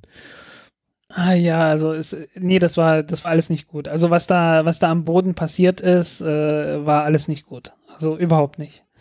Ähm, aber ja, es ist halt so, so dieses übliche, weißt du, es ist sowieso von halben Ewigkeit passiert. Ich war nicht mal im Ansatz in der Nähe und irgendwie ist das halt so, so die, das ist halt Geschichte, ne? Und äh, man, man sieht das dann halt so mehr aus historischen Aspekt und äh, manchmal denkt man noch dran, äh, da waren auch Menschen. Ich glaube, die meisten waren evakuiert. Es gab, glaube ich, nur Verletzte. Ja, das Wenn es doch Tote gab, äh, weiß ich jetzt nicht, hab's nicht im Kopf. Ähm, können die Leute ja selber gucken. ja, genau. Also, äh, aber schön war es trotzdem überhaupt nicht. Schön war es nicht. Ähm, was auch nicht schön ist, ist, äh, dass X-Core jetzt offiziell pleite ist. Ja. Ähm, genau, äh, hat äh, letzte Woche Chapter, wie, wie nennt man das? Seven. Chapter Also es 7. gibt dieses Chapter 11, davon hört man öfter was. Äh, das ist dann einfach nur, wenn es halt heißt, ja, wir können gerade nicht bezahlen, aber wir haben hier so ein, so ein äh, oh, wie, wie nennen sich diese Verwalter gleich? Äh, Insolvenzverwalter. Insolvenzverwalter, genau. Also man geht so in Insolvenz, man hat so einen Insolvenzverwalter und der hat dann die Aufgabe, das Unternehmen wieder wirtschaftlich in, in richtige, äh, in die in gute Bahnen zu lenken. Das ist dieses Chapter 11 und das hatte, das hatten die auch schon vor einiger Zeit äh, mindestens einmal angemeldet gehabt. Und dann gibt es dieses Chapter 7 in irgendwelchen Regulator, in irgendwelchen amerikanischen Regularien, äh, was dann halt heißt, der Laden wird nichts mehr, macht das Ding dicht. Ja. Und das ist halt jetzt passiert. Genau, also es wird, es, es findet der große Ausverkauf statt, hauptsächlich, hauptsächlich die Patente für das Triebwerk, was sie entwickelt haben. Und ähm, Die haben ja ein Triebwerk entwickelt, das ursprünglich für die Oberstufe von der äh, äh, hier Vulkanrakete von der ULA mal gedacht war und bis sich dann halt bis Genau. sich die ULA dann für was anderes entschieden hat, was glaube ich Ja. das RL10 ist oder oder nee BE4 war es, ja? Oder haben die sich da überhaupt Genau, das? ULA ACES Engine Contract, den sie dann verloren haben. Ähm, was ich ganz interessant finde, auf äh, Parabolic Arp gibt es einen, ähm, einen Artikel von Henry Vanderbilt, der mal äh, Mitarbeiter und, äh, glaube ich, auch Shareholder bei X-Core war und der so ein bisschen aus dem Nähkästchen plaudert, was da eigentlich schiefgelaufen ist. Aha. Und der meint, also Kann sein, da war was, ja. also er meinte jetzt, an der Technik soll es nicht gelegen haben. Also meinten, das, das Triebwerk war irgendwie zu zwei Dritteln fertig entwickelt und ähm, auch der, der Lynx äh, äh, war sehr vielversprechend. Ähm, aber es ist äh, das Problem war einfach Kurzer, das Ex Management. kurzer Exkurs mal, kurzer Exkurs. Der Lynx war so der Konkurrent zum äh, Spaceship One. Nee, Spaceship Two gewesen, also sollte so suborbitales, suborbitale Flüge machen, aber nicht von einem Flugzeug aus, sondern vom Boden aus war halt letztendlich ein Raketenflugzeug, das äh, auf 100 Kilometern Höhe äh, kommen sollte und äh, auch schon eine kleine Raketenstufe hätte tragen sollen irgendwann, äh, um dann kleine Raketen, äh, um kleine Satelliten in niedrige Umlaufbahnen zu bringen. Genau, das ist ein Das war so der Plan. suborbitales ähm, äh, Raumschiff, was äh, von einer St Start- und Landebahn aus fliegen kann. Also auch nicht wie, wie das Spaceship von irgendwie drunter gehängt werden muss, sondern ich glaube irgendwie aus eigener Kraft Ja. starten und landen konnte. Ähm, und er meint halt hier einfach, äh, dass es hier dieses klassische äh, Tech-Startup-Phänomen gab, dass das Management äh, irgendwie versagt hat, dass es irgendwie das sogenannte Fou- Founders-Syndrom gibt. Ähm, ähm, genau, also dass, dass, die, dass die Gründer einer Firma also zu, zu, langsam, zu lange brauchen, um zu verstehen, dass sie vielleicht nicht die besten Manager sind und dass sie vielleicht mal einen ordentlichen Manager einstellen sollten, der den Laden langfristig zusammenhält. Ja. Genau, und ähm, äh, er schreibt hier, dass es einfach, ähm, äh, dass, dass, dass das Ende von X einfach viel zu lange rausgezogen wurde und dass man da wesentlich früher ähm, hätte den Stecker ziehen sollen. Und ähm, das ist ja irgendwie, dass dann, ich glaube, drei der vier Gründer sind dann irgendwie abgesprungen. Ich glaube, einer ist an Krebs gestorben, einer wurde von Trump zu irgendeinem so Administrator ernannt. Und Genau, das war irgendwie das letzte, ja. Genau. Und ich glaube, einer wurde von äh, die Deep Space Industries, von so einer Asteroidenbergbaufirma weggekauft. Okay. Ähm, Hm. Ja, und, kann sein. Irgendwie. ähm, ja, es ist jetzt halt einfach vorbei. Die haben auch irgendwie ähm, mal so ein, ein, ein, ein Flugzeug mit Raketenantrieb gebaut, den Rocket Racer. Ja, ja, der Easy, Easy Racer oder so. Genau, EZ irgendwas. genau, weil es gab mal die Rocket Racing League, die es jetzt leider auch nicht mehr Ja. gibt. Und Äh, die, die gab es, äh, tatsächlich gab es die nie. Also, äh, die bestand halt bloß daraus, dass man mal die Flugzeuge irgendwie demonstriert hatte. Äh, waren aber tolle, tolle Flugzeuge, sahen cool aus, äh, basierten irgendwie auf, äh, vor- auf einem anderen, äh, auf einem anderen Flugzeug, das es mal als Prototypen gab, äh, EasyJet oder, oh, ich hab keine Ahnung. äh, warte, warte, ich, ich äh, müsste gucken hier. äh, Easy Racer. äh, Daran hatte ich nämlich nicht mehr gedacht. Na, es gab, es gab den, Okay. es gab den Rocket Racer, den sie gebaut haben. Oder welchen? genau, Easy Rocket und ich fand mich gerade Rutan Long Easy, genau. Genau, das basierte auf einem anderen Flugzeug von, von äh, Burt Rutan. Und Burt Rutan ist ja der Typ, der übrigens auch dieses äh, Spaceship One damals entwickelt hat. Genau. Ähm, äh, ja, die, die, diese, sie sind auch noch nicht ganz schuldenfrei. Ähm, äh, der letzte Satz in dem Artikel von Parabolic Arc ist, dass sie dem Mojave Air and Spaceport noch 42.322 Dollar in Hangarmiete schulden, ähm, die sie noch nicht bezahlt haben. Keine Sense. Nein, keine Cent. Ich glaube, da haben sie aufgerundet. Okay. genau. Ja, Und ähm, genau hier, äh, der, genau, der letzte äh, Gründer wurde dann zwei, im Juli 2017 von Deep Space Industries abgeworben. bin ja Und- mal gespannt, wann diese, wann diese, äh, diese Spaceport America pleite geht. Ja, das ist, ähm, Das ist, das ist eigentlich die viel größere Frage dabei. Es ist ja auch bloß, das ist ja so ein Ding, das wurde da in die Wüste gesetzt. Äh, viel, also total überbaut, viel zu groß äh, für alles, was da jemals reingekommen ist.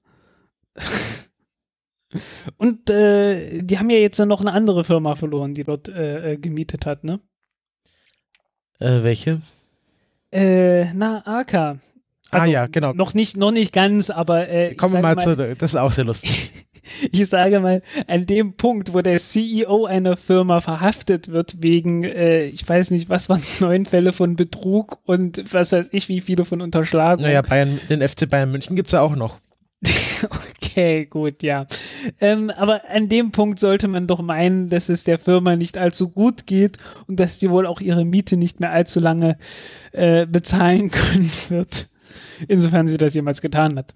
Ähm, Arca, über die hatten wir uns äh, vor ein paar Ausgaben irgendwie schon mal unterhalten. Ähm, ist ja so eine Firma, äh, die äh, ja, die wollte ja so eine Single-Stage-to-Orbit-Rakete bauen, ähm, wo ich ja da schon sehr skeptisch war, ob das überhaupt gehen kann. Also ich hatte mich, glaube ich, so ausgedrückt, na, physikalisch ist es an der Grenze, aber sie werden sehr schnell da dann feststellen, dass mit einer zweiten Stufe sehr, sehr viel besser laufen wird. Hat schon seine Gründe, warum ne? das niemand vorher versucht hat. Genau, irgendwie sowas war das, äh, was ich da gesagt hatte. Ich google das gerade mal nach, was wir da ähm, äh, ich, ich, ich, weiß es halt nicht mehr, den Wortlaut von dem, was ich gesagt hatte. Äh, also. Ähm, nee, es war schon Folge 52. Du hattest irgendwas mit. Echt? Ja, ja. Boah. Genau, äh, ich, genau, wir haben gesprochen, AK wird Aerospec-Triebwerk am Spaceport Amerika testen.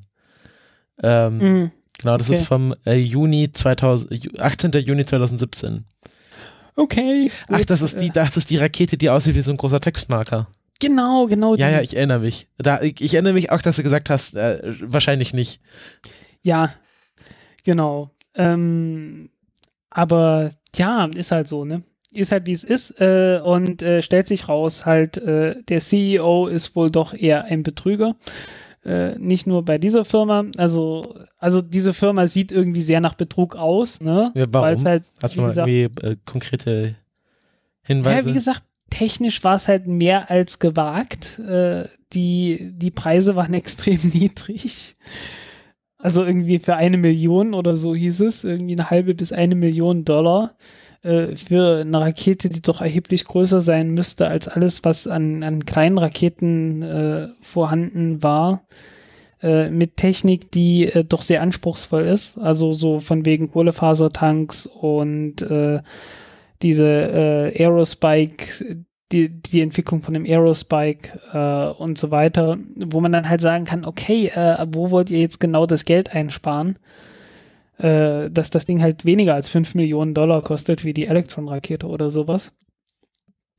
Äh, ja. Tja. Ähm, ja, das Wie gesagt, es, es wundert mich nicht unbedingt und äh, es gibt eine Menge Videos, äh, die von Parabolic Arc in den Kommentaren werden jede Menge Videos äh, verlinkt, äh, wo dann halt so gezeigt wird, wie die sich selbst äh, dargestellt haben. Äh, und die haben übrigens auch Aktien verkauft und so weiter, ne? Die wahrscheinlich jetzt immer so viel wert sind. Wahrscheinlich nicht, nee. Ist immer ein schlechtes Zeichen, wenn, wenn Leute verhaftet werden. Ja, es ist ein sehr schlechtes Zeichen. Aber sie ähm, haben ja ähm, immerhin eine Rakete gebaut, also es waren ja Dinge da, die man anfassen konnte.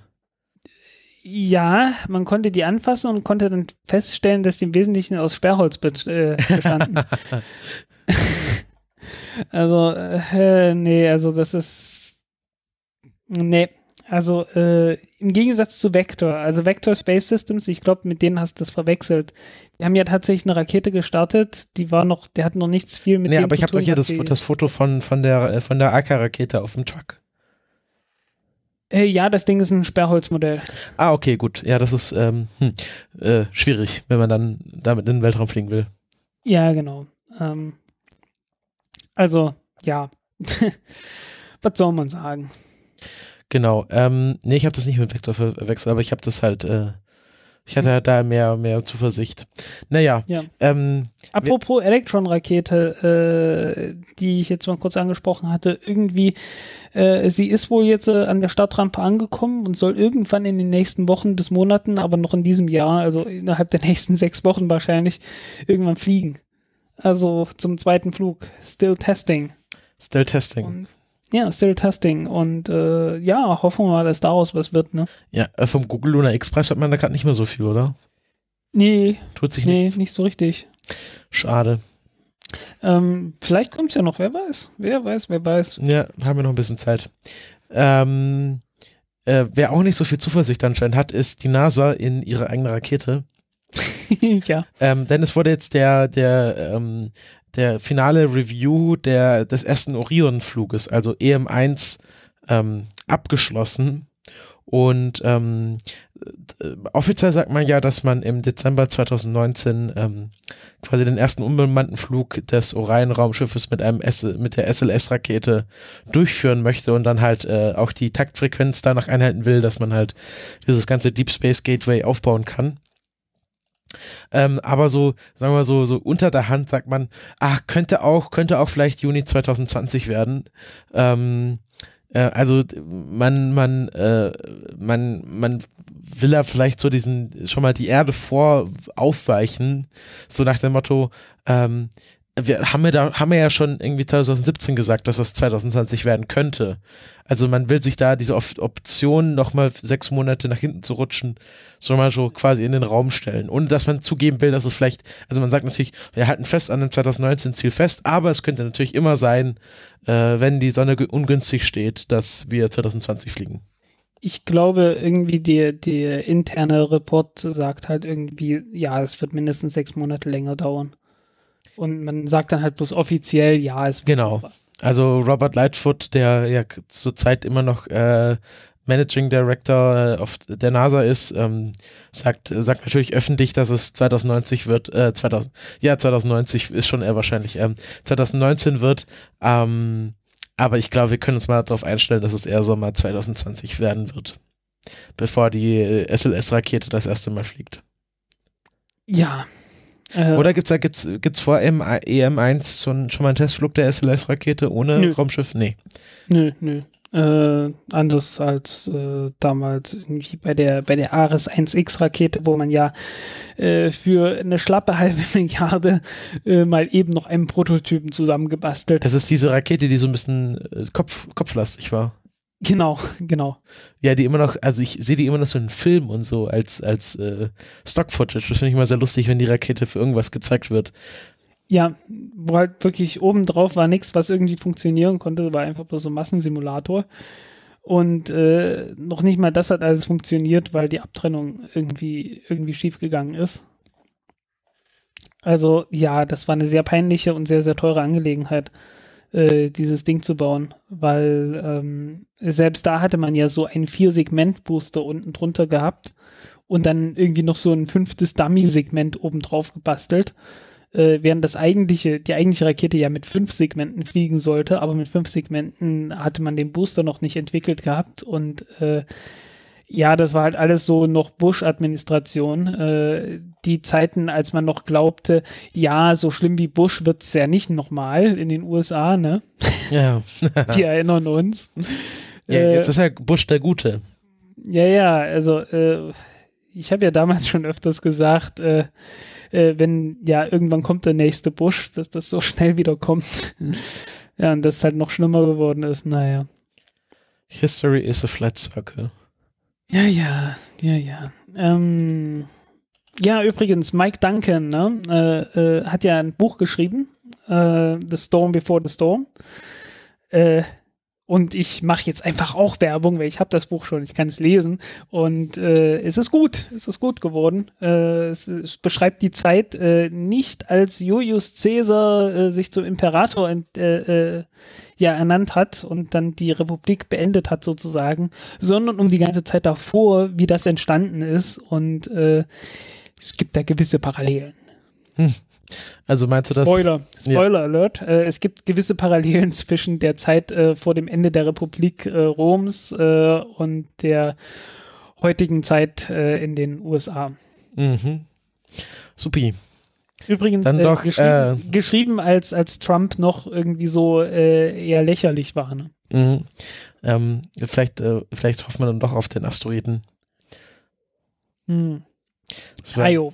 also, ja, soll ich sagen? Also äh, die, die Kampagne, also der hat ja damals eine riesengroße Kampagne gemacht, äh, um dieses Buch äh, verkauft zu kriegen, um möglichst in die Bestsellerlisten zu kriegen. Äh, hat er geschafft. Äh, Platz 8 in der New York Times Bestsellerliste.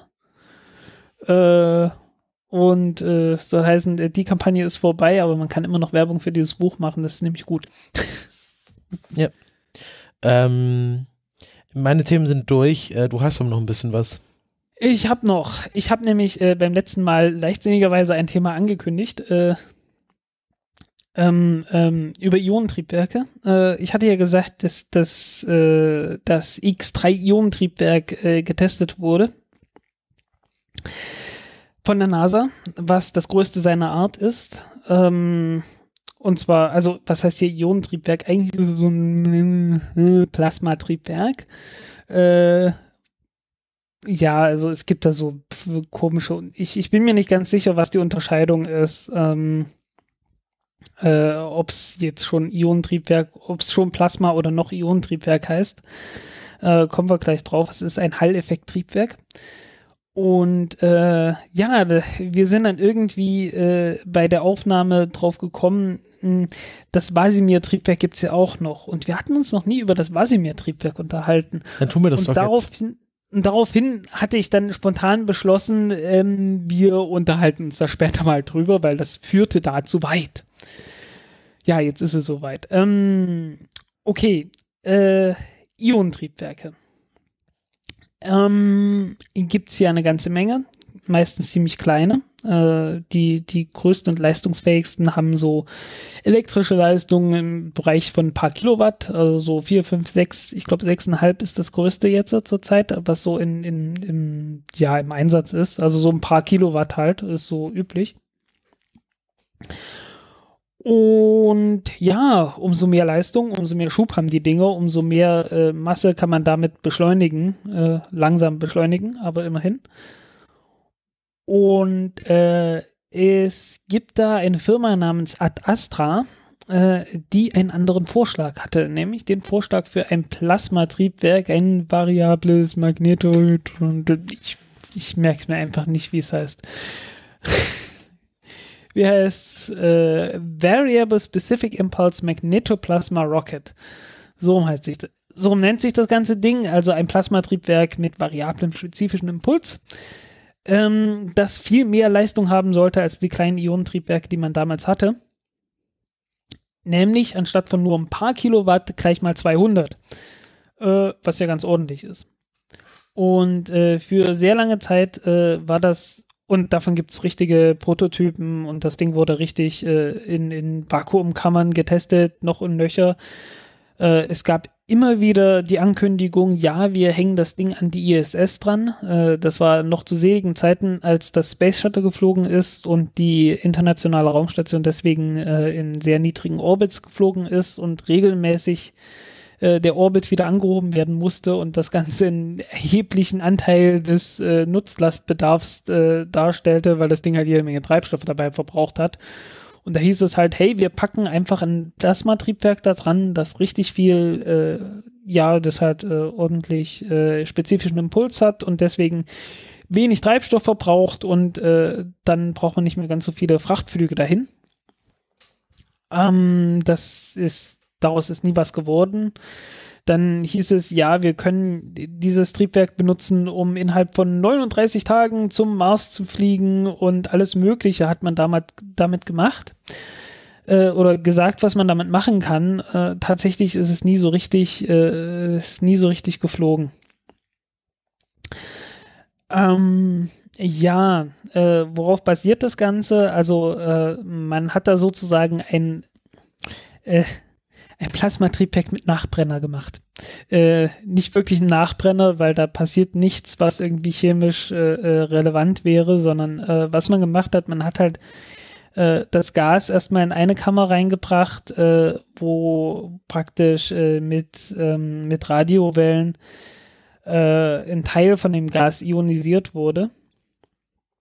Und das Ganze wurde dann in ein starkes Magnetfeld reingebracht, wo es dann nochmal richtig äh, beschleunigt, nochmal weiter aufgeheizt und wurde. Und es gibt dann ein paar, äh, ein paar äh, Effekte, die dafür sorgen, dass man, dass sich in so einem, innerhalb von diesem Magnetfeld äh, elektrische Felder ähm, bilden können. Äh, das liegt einfach daran, dass so ein Plasma ähm, aus freien Elektronen und aus den, ja, aus den äh, äh, Atomkernen des Plasmas äh, zusammensetzt und die Elektronen sind sehr, sehr, sehr viel leichter als die Atomkerne und äh, können sich dadurch auch besser be äh, ja, können sich besser, nein, äh, werden dadurch stärker beeinflusst von dem Magnetfeld, weil es halt sehr wenig Masse haben. So heißen alle Kräfte, die auf die wirken, äh, sind, haben einen sehr viel größeren Einfluss darauf, wie sich diese Elektronen bewegen werden, als auf die schweren Atomkerne, die halt einfach mehr Masse haben, die haben mehr Trägheit und können sich da über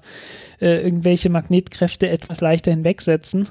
Und dadurch trennen die sich halt so ein bisschen. Und so, wenn sich halt äh, einmal die positiv geladenen Atomkerne und die negativ geladenen Elektronen ein bisschen getrennt haben, dann hat man, ja, man hat halt ein, ein elektrisches Feld und äh, mit diesem elektrischen Feld kann man dann halt äh, Teilchen beschleunigen und äh, das und noch ein paar andere Effekte äh, kann man dann benutzen, um halt ein Raketentriebwerk, ein äh, Plasmatriebwerk zu bauen. Und äh, ja, das Ding, also braucht supraleitende Magnete und äh, alles Mögliche. Ist halt relativ kompliziertes Ding. Auch nicht übermäßig effizient. Aber konnte dafür halt äh, eine ganze Menge, eine ganze Menge Leistung verarbeiten. Und äh, ja, tja, was soll man sagen? Äh, die NASA hat ein äh, Halltriebwerk gebaut. Sehr einfach aufgebautes Triebwerk braucht äh, nur ein einfaches Magnetfeld äh, und macht äh, letzten Endes äh, vom Sinn her das Gleiche. Also erzeugt ein Plasma, beschleunigt das Plasma und äh, hat auch, kann auch äh, variabel einstellen, wie, ähm, wie stark das beschleunigt werden soll. Ähm, weil ähm, umso stärker du das Plasma beschleunigst und hinten rausschmeißt, umso mehr elektrische Leistung brauchst du natürlich dafür. Ähm, und du hast halt immer so die Wahl. Entweder beschleunigst du dein Plasma besonders schnell und äh, hast damit einen hohen spezifischen Impuls und einen sehr geringen äh, Treibstoffbedarf. Oder ähm, du beschleunigst nicht ganz so schnell, äh, hast dadurch ein, ein, weniger effizientes Triebwerk, hast einen höheren Treibstoffbedarf, aber brauchst nicht so viel Strom dafür. Und äh, das kann man dann halt bei solchen Halttriebwerken in gewissen Rahmen dann auch einstellen. Und äh, ja, die NASA hat halt so ein Halttriebwerk gebaut und das halt äh, richtig groß gebaut. Äh, groß im Sinne von, äh, das Ding wiegt mal so eben eine Vierteltonne. Also so 250 Kilo. Mhm. Und äh, verarbeitet halt auch mal eben 200 Kilowatt an Strom ist dabei ähnlich ineffizient wie das, äh, wie das Vasimir-Triebwerk, also irgendwie so 50, 60 Prozent oder so vom Strom wird halt umgesetzt in Schub und der Rest in Wärme, was äh, immer so ein Problem ist, weil äh, du willst eigentlich nicht, dass irgendwelche Teile innerhalb dieses Triebwerks schmelzen oder so. Wäre ein bisschen blöd.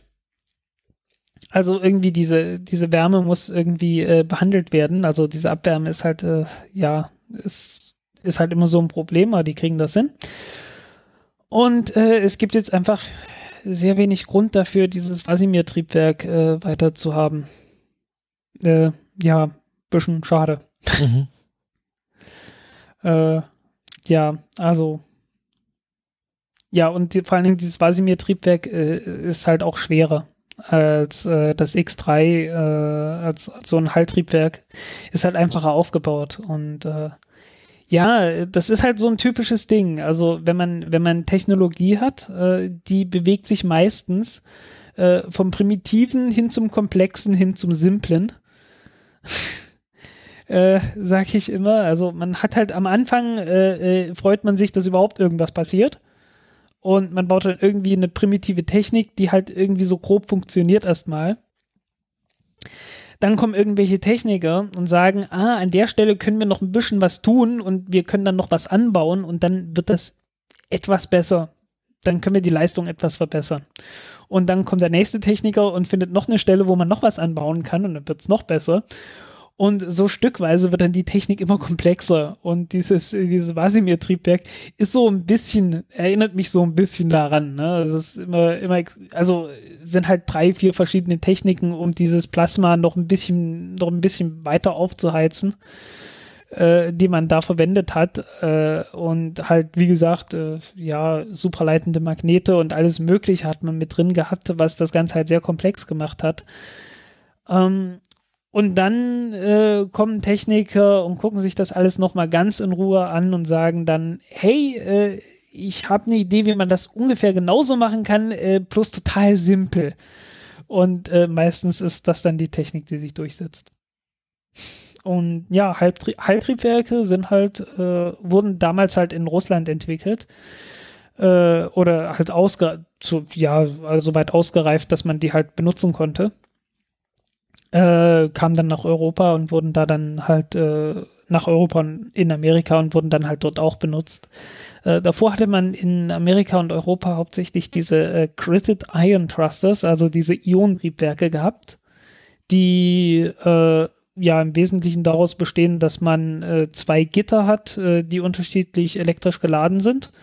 Und ja, dann hat man halt Spannungsdifferenz, man hat geladene Teilchen. Mit Spannungsdifferenz kann man geladene Teilchen beschleunigen, wenn man hat ein elektrisches Feld. Und äh, klingt gut, funktioniert, äh, ist auch effizienter äh, als diese Plasmatriebwerke, auch als das Halttriebwerk, hat aber ein Problem. Weil du kannst diesen, Ionentrieb, diesen Ionen in dem Ionentriebwerk nicht verbieten, äh, gegen, diese, gegen diese Gitter zu knallen, die elektrisch geladen sind. Und die, du kannst denen auch nicht sagen, bitte fliegt jetzt nur durch die Löcher und nicht gegen dieses Metall. Weil dieses Metall ist elektrisch aufgeladen und zieht die eigentlich sogar an. Äh, ne? Also die, die Idee dahinter ist praktisch, äh, du, zieh, du benutzt dieses Gitter, um die geladenen Teilchen anzuziehen. Und äh, bis dahin sind die schon so schnell, dass die durch die Löcher in dem Gitter durchfliegen und dann hinten rausfliegen. Mhm. Das ist so ein bisschen die Idee.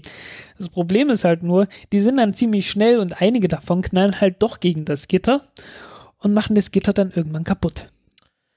Das und, könnte ein Problem äh, sein. Das begrenzt die Lebensdauer von den Dingern. Also du hast dann halt, äh, ich meine, du kannst die, die, die immer noch für ein paar tausend Stunden oder so benutzen, aber irgendwann sind sie halt kaputt. Und äh, ja, Heiltriebwerke haben halt eine riesengroße Öffnung. Und äh, ja, da geht nicht viel kaputt. Also da, das, das kann man dann halt, äh, die kann man halt wirklich so bauen, dass die praktisch ewig laufen. Mhm. Da, also da sind dann irgendwie andere Teile, die dann halt irgendwie äh, kaputt gehen können, aber die sind halt nicht so anfällig wie diese, wie diese Gitter in den herkömmlichen Ionentriebwerken. Jo, ähm, was bringt's? Äh, man hat dann äh, potenziell halt echte Triebwerke, die richtig viel Leistung bringen können und dann auch äh, große, schwere Raumschiffe und nicht nur kleine, leichte Raumsonden beschleunigen können. Jo. Ja. Ähm, Aber warum, warum ist es jetzt schade, dass das äh, Vasimir-Triebwerk, äh, oder wie heißt es? Ja, ja, Vasim, also Vasi MR, aber, aber warum immer so wenn, dieses wenn das, dazwischen, damit man es auch Wenn das X3 doch besser ist. Äh, ja, deswegen ist es, ja, ich, ich mag halt so komplexe Technik. es ist halt doch irgendwie toll, dass man das so zusammengebaut hat. Ähm, weiß nicht, also es ist halt so, es hat eine eigene Faszination halt. Äh, es ist immer ein bisschen schade, wenn so eine Technik dann halt nie zum Einsatz kommt, weil irgendwer um die Ecke kommt und sagt, äh, das geht doch viel einfacher. Und gleichzeitig ist das natürlich auch faszinierend, dass jemand um die Ecke kommt und sagt, hey, ich habe eine Idee, ich mache das hier total simpel. Ähm, ich finde halt beides toll irgendwie und dann immer so ein bisschen schade, wenn, wenn sowohl das eine als auch wenn das andere äh, dann verschwindet. Also, ja, vielleicht kann das eine ja am anderen aufgehen. Ja, wer weiß. Ähm, übrigens, äh, die Idee für dieses Vasimir-Triebwerk äh, stammt letzten Endes äh, aus Experimenten zu Fusionsreaktoren. Weil äh, da spielt man ja auch ziemlich viel mit Plasma rum und äh, versucht dieses Plasma einzuschließen und hat sehr oft festgestellt, ja, wir können dieses Plasma nicht völlig einschließen. Irgendwie an einem Ende kommt es raus. Und äh, man hat sich dann halt so gedacht, hey, äh, wir, wir können ja dieses Plasma einschließen und aufheizen. Und wenn es dann auf der einen Seite rauskommt, hey, das ist, eine, das ist ein Triebwerk. Ne? Das ist ein Raketentriebwerk. Mhm. Und so oder so ähnlich ist das entstanden. Und das ist so, das ist immer so ein bisschen das Paradebeispiel gewesen für äh, Kernfusionsforschung. Hat uns zwar noch keine Kernfusion gebracht, aber guckt mal da. naja, hm, das wohl auch noch nicht so ganz. Tja. Aber war trotzdem, es war eine gute Idee. Man hat das halt auch verfolgt und man hat es auch gut weiterentwickelt wer weiß, vielleicht wird das doch nochmal irgendwann eingesetzt, weil es irgendeinen anderen Vorteil hat. Äh, aber ich, ich sehe es nicht so ganz. Okay. Was hast du dem Thema? Ich denke. Denkst du? Ähm, dann, ähm, ich weiß nicht, was du, äh, ich bin jetzt tatsächlich außer äh, meinen Themen schon durch. Ähm, du hast hier noch äh, was mit dem X37 stehen. Ja, und den Dream Chaser, der ist mal gegleit getestet Ja, äh, worden. red erstmal über den Dream Chaser, das ist aktueller. Genau, äh, also Dream Chaser äh, ist ja dieses äh, Mini-Shuttle, das von der Sierra Nevada Corporation äh, entwickelt wird und die ISS mit Fracht versorgen soll. Also die haben ja einen Auftrag dafür bekommen, was irgendwie etwas merkwürdig ist, weil eigentlich äh, hatten die das Ding eingereicht für die bemannten Flüge. Äh, bemannt oder befraut, je nachdem. Äh, Besatzung. Ist mit Besatzung, genau. Äh, ja, ich wollte es mir abgewöhnen und das ist durchaus ernsthaft geme ernst gemeint, dass ich mir das abgewöhnen will mit diesen bemannten Raumschiffen, weil, also Leute, es sind wirklich nicht nur Männer da drin. äh, und ja, ähm, ja, die haben es eigentlich dafür eingereicht gehabt, aber die haben nur so einen halben Auftrag bekommen. Äh, also äh, Boeing hat ja einen gekriegt äh, für das äh, äh, CST und äh, SpaceX für den Dragon. Und äh, die wurden dann halt so, haben so einen halben Auftrag gekriegt. Ja, also ihr werdet niemanden damit starten können, aber wir geben euch noch so ein bisschen Geld für die Entwicklung. Einfach bloß, um sich die noch ein bisschen warm zu halten und zu sagen, naja, wenn es mit dem einen nichts wird, dann haben wir noch was in der Hinterhand. Aber äh, ja, damit konnten die halt auch nicht so richtig äh, letzten Endes das Ding weiterentwickeln. Und äh, haben dann aber gesagt, ja, wir können ja auch eine Frachtversion von dem Ding bauen. Was so eine etwas merkwürdige Sache ist, äh, weil de facto ist in dem Ding nicht allzu viel Volumen drin. Ist halt wirklich für menschliche Fracht gedacht und nicht für, nicht für Frachtfracht. Ähm, und mussten sich dann irgendwie was ausdenken, dass man dann noch ein Modul hinten dran baut, was, glaube ich, irgendwie von Thales Alenia auch wieder kommt oder so. Es kommt, glaube ich, irgendwie aus Europa, äh, wo dann halt noch ein bisschen mehr Volumen drin ist. Ist alles eine sehr merkwürdige Angelegenheit. Äh, aber sie haben halt äh, damit tatsächlich den Auftrag gekriegt, äh, eine, ihre Frachtversion da zu bauen und dann Fracht zu liefern. Und äh, ja, hat natürlich den großen Vorteil, äh, weil es halt auch ein relativ unkonventionelles Design ist. Ne? Es ist halt so ein Mini-Shuttle und äh, man hat denen wahrscheinlich nicht gleich zugetraut, dass die gleich äh, von Anfang an da problemlos das Ding fliegen können. Und hat denen dann halt diesen Auftrag gegeben für die Nutzlast. Und äh, dadurch kann sich das halt erstmal bewähren und äh, dann können die halt unter Beweis stellen, dass das funktioniert. Und wahrscheinlich werden sie dann im nächsten äh, äh, Crew, äh, wie heißen die Dinger eigentlich genau? Äh, C Was meinst du? Commercial Crew Transportation, ne? In den nächsten Verträgen für diese kommerziellen Crew. Ja, ja äh, Commercial Crews. CC, die- äh, meinst du CC Dev, Commercial Crew Development? genau das. Genau. Ja, also diese, für die nächsten Commercial Crew äh, Aufträge werden die dann wahrscheinlich auch mit berücksichtigt werden. Ja. Schätze ich mal. Ähm, Und die haben halt jetzt einen Testflug gemacht. Der war erfolgreich im Gegensatz zum letzten Testflug, der äh, damit endete, dass von den beiden Rädern, die das Fahrwerk ausmachen, also hat vorne eine Kufe und hinten zwei Rädern und äh, eins dieser beiden Räder ist nicht ausgeklappt und äh, der äh, Landeversuch äh, endete dann ganz am Ende äh, etwas unschön. ähm, äh, hier ist auch äh, auf der Wikipedia-Artikel steht, dass der das Dream Chaser Cargo F1 2020 fliegen soll mit einer Atlas 5. Äh, gibt auch immer noch Pläne, das mit einer Ariane 5 oder Ariane 6 Rakete starten zu können. Äh, die hatten auch angeboten, dass sie, dass da irgendwie für die Aufträge äh, irgendwie andere Missionen vielleicht fliegen könnten für die ESA. Also die haben das äh, überall auf der Welt angeboten, um vielleicht doch noch irgendwie da ein bisschen mehr, bisschen mehr Umsatz, bisschen mehr Geld damit zu machen. Äh, kann man ja auch gut verstehen. Ne? Mhm. Ähm, ja.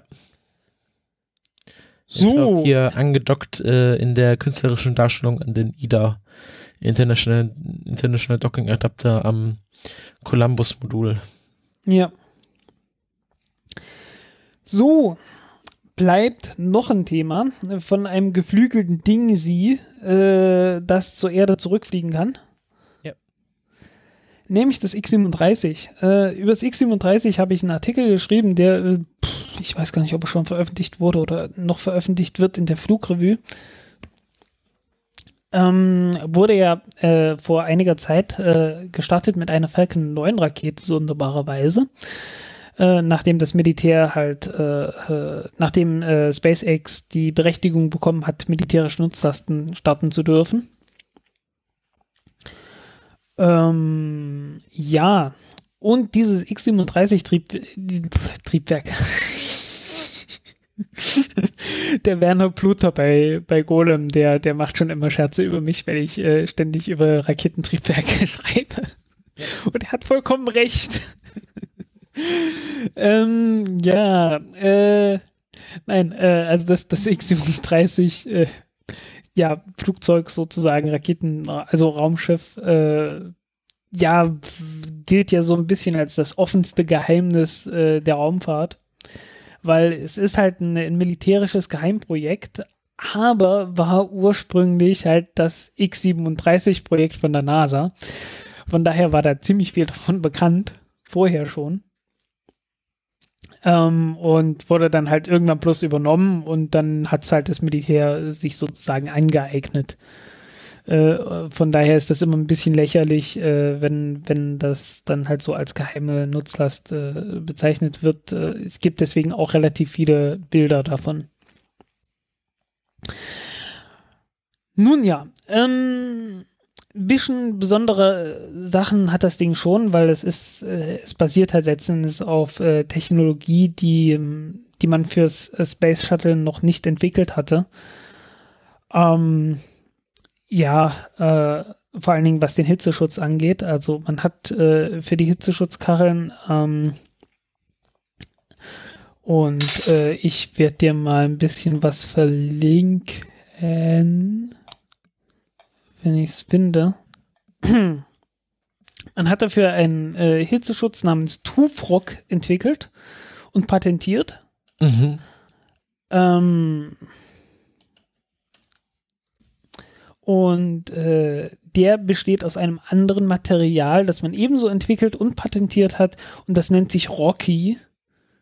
Und äh, ja, also zusammen ist das halt sozusagen das Dream Team. Äh, also Rocky ist so ein neues Material, das man entwickelt hat und dann so in einer Sandwich-Bauweise zu diesem Tufrock zusammengebaut hat. Ähm, ja, woraus besteht dieses Zeug? Äh, äh, okay, du willst einen Hitzeschutz haben. Ja. Was muss dieser Hitzeschutz machen? Also erstens mal sollte er sich nicht in seine Bestandteile auflösen wenn er äh, mit der, wenn er mit der Atmosphäre konfrontiert ist. Das ist das eine. Das andere ist, äh, er muss das, das Innere von dem Raumschiff vor der Hitze schützen. Weil äh, ist ja schön und gut, wenn deine Außenhaut äh, die Hitze übersteht, aber sich so aufheizt, dass sich das Innere von deinem Raumschiff äh, gleichzeitig mit so aufheizt, äh, dass im Inneren alles gebraten wird, weil äh, das Ding ist ein Raumschiff und kein Backofen. Äh, ja. Also brauchst du einen Hitzeschutzschild, der äh, mindestens außen erst, der irgendwo eine, eine isolierende Wirkung hat. Also irgendwo muss da ein isolierender Stoff dazwischen kommen. Und äh, ja, deswegen hat man da diese, diese komischen Hitzeschutzschacht, Hitzeschutzschachteln. Oh Hitzeschutzkacheln vom Space Shuttle entwickelt, äh, die aus so einem geschäumten Quarz, äh, Silizium-Zeugs, irgend sowas äh, bestehen. Äh, durchaus beeindruckend. Also die kannst du halt in den Hochofen oder sowas, äh, in Hochofen, äh, in, in irgendeinen so Ofen packen, wo die äh, rotglühend aufgeheizt werden, rausgeholt werden und dann, dann holst die raus. Äh, und äh, die sind dann halt durch und durch erstmal richtig heiß. Äh, und strahlen nach überall hin Hitze ab und dann siehst du aber recht schnell irgendwie so, die Kanten, die werden schwarz.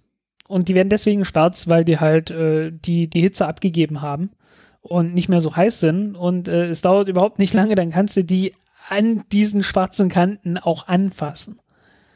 Äh, während der Rest noch richtig heiß glüht. Mhm. Also äh, das ist halt äh, durchaus faszinierendes Material, was die da entwickelt haben. Ähm, äh, so, eine, so eine isolierende Schicht brauchst du halt. Ne? Gleichzeitig ist das ein Material, das eigentlich überhaupt nicht stabil ist. Äh, hat man ja gesehen. Also, äh, also so, so das allerstabilste Zeug ist das nicht. Und man hat dann halt neue, äh, neue Materialien entwickelt und hat die dann auch getestet. Äh, auch am Space Shuttle hat man ein paar einzelne Kacheln äh, ausgetauscht und äh, neue Materialien damit getestet. Und die hat man dann immer so daran erkannt, so rechts und links sind alle Kacheln ziemlich beschädigt gewesen und die halt nicht. Also das war schon ein deutlicher Unterschied. Und äh, das hat man dann halt weiterentwickelt und für das X37 verwendet. Ähm, ja, äh, woraus besteht das? Äh, letzten Endes aus einer äußeren Schicht, äh, die ja einmal aus Kohlenstoff besteht, aber nicht nur, weil Kohlenstoff alleine würde durchaus die Hitze aushalten. Äh, aber nicht die Umgebung, in die das eigentlich reinkommt, weil du trittst ja in die Erdatmosphäre ein, die Erdatmosphäre heizt sich auf und du kommst mit allem in Kontakt, was in dieser Erdatmosphäre ist, insbesondere dem Sauerstoff. Und äh, Sauerstoff ist äh, bekanntlich nicht gut für alles, was irgendwie oxidieren kann. Und wenn es richtig heißer Sauerstoff ist, im Sinne von 1700 Grad heißer Sauerstoff, ist richtig, richtig böse aggressiv. Und da brauchst du schon ein bisschen mehr. Und äh, also der, der Kohlenstoff, der wäre da einfach nur, der würde einfach nur verbrennen. Und man hat sich dann halt gesagt, okay, wir müssen irgendwie einen anderen, äh, anderen Stoff entwickeln, der vielleicht auf Kohlenstoffbasis ist, aber der zumindest nicht sofort oxidieren kann. Und äh, man hat dann halt Siloxane gefunden. Also Siloxane ist so eine puh, komische Verbindung aus äh, Silizium, Kohlenstoff und Sauerstoff. Und man merkt, da ist der Sauerstoff schon drin. Und äh, man hat eine Möglichkeit gefunden, wie man das zusammen mit dem Kohlenstoff letzten Endes verbinden kann. Man hat dann halt eine Schicht, die sozusagen schon oxidiert ist. Und damit hält die auch den Sauerstoff aus. Ähm, okay, diese Schicht außen ist halt die, die erstmal diese Hitze aushalten kann und die den Sauerstoff aushalten kann. Und dahinter kommt dann halt äh, irgend so ein Fasermaterial, das dann halt auch, das dann halt diese eigentliche Wärmeisolation äh, erreicht. Ja. Und man hat noch ein anderes Material gefunden, ich, das kann sogar dieses, dieses Rocky-Material auch sein, äh, mit dem man dann halt praktisch äh, die äußere Schicht, die die Hitze aushält, und die eigentliche Hülle von dem Raumschiff äh, miteinander verbindet, weil äh, dazwischen dieses Isolationsmaterial, das hält nichts aus. Ne? Also man, man hat dann so, so kleine äh, wie Bolzen oder so dazwischen, äh, die halt praktisch die Außenhaut mit der inneren Haut äh, verbinden an ein paar Stellen, aber dazwischen ist halt jede Menge Isolationsmaterial, so dass die, die Hitze nicht nach innen durchkommt. Und äh, das ist so zusammen mit noch ein paar anderen keramischen äh, Werkstoffen, die dann halt den, die an anderen Stellen dann zum Einsatz kommen. Also man hat da irgendwie so Siliziumkarbid oder so benutzt äh, für, für irgendwelche ähm, Steuerflächen und sowas, äh, wo es dann halt nicht so ganz darauf ankommt, was weiter draußen ist. Ähm, ja, also das ist halt so ein, das sind halt so die, die wesentlichen Dinge gewesen, die man dafür entwickelt hatte, für das äh, X37, was äh, wirklich neu war. man hat natürlich noch ganz andere Dinge neu entwickelt. Ähm, was man auch neu entwickelt hatte, war ein Triebwerk, das äh, auf Kerosin und äh, Wasserstoffperoxid äh, basierte. Übrigens die gleiche Kombination, die auch AK benutzt hat. über die wir uns ja vorhin schon äh, ja. äh, noch etwas lustig gemacht hatten. Äh, also die funktioniert schon, äh, die ist nicht die allereffizienteste, aber man wollte das halt benutzen, weil es nicht so giftig ist. Und solange wie das Ganze noch in, der, in den Händen der NASA war, war es halt äh, so ein bisschen angedacht wie, naja, man kann das Ganze ja mal kommerziell machen und äh, wenn man da Treibstoffe benutzt, die nicht ganz so giftig sind, dann kann man das sicherlich auch etwas billiger und einfacher handhaben. Ähm, okay, nachdem das äh, Militär das Ganze übernommen hat, hat man äh, diese Triebwerke rausgeschmissen und stattdessen herkömmliche, die mit Hydrazin und äh, die Stickstofftetroxid äh, basieren, benutzt, weil es halt, äh, ja, etablierte Technik ist, äh, funktioniert über einen größeren, äh, über einen größeren äh, Temperaturbereich und ja, friert nicht so leicht, nicht so schnell ein und so. Also ist leichter zu handhaben, wenn du eine lange Mission hast. Und äh, die fliegen ja durchaus sehr lange Missionen. Mhm. Äh, ich glaube, geplant waren 270 Tage Ja. äh, ursprünglich mal. Und äh, ich, das wurde ums Mehrfache übertroffen. Ich glaube, die längste waren 588 Tage oder so. Ja, ähm, ja, also so heißen, äh, die, die Triebwerke äh, sind jetzt, äh, benutzen halt dann doch wieder eine sehr giftige Treibstoffkombination und das merkt man dann noch daran, dass äh, nach der Landung von diesem X-37 äh, sich Techniker äh, dem Ding erstmal nur nähern mit äh, doch ziemlich aufwendiger Schutztechnik und Schutzanzügen und sonst was. Ähm, weil die Treibstoffe halt, wenn sie rauskommen, doch, ja, ich glaube, ab äh, 10 Teile pro Million oder so giftig wirken. Und äh, das will man einfach alles nicht. Das will man alles nicht einatmen. Nein, wenn man nicht. Ja. Ähm, Gibt es noch was zu sagen? Äh, äh, wenn ihr Fragen habt, dann fragt.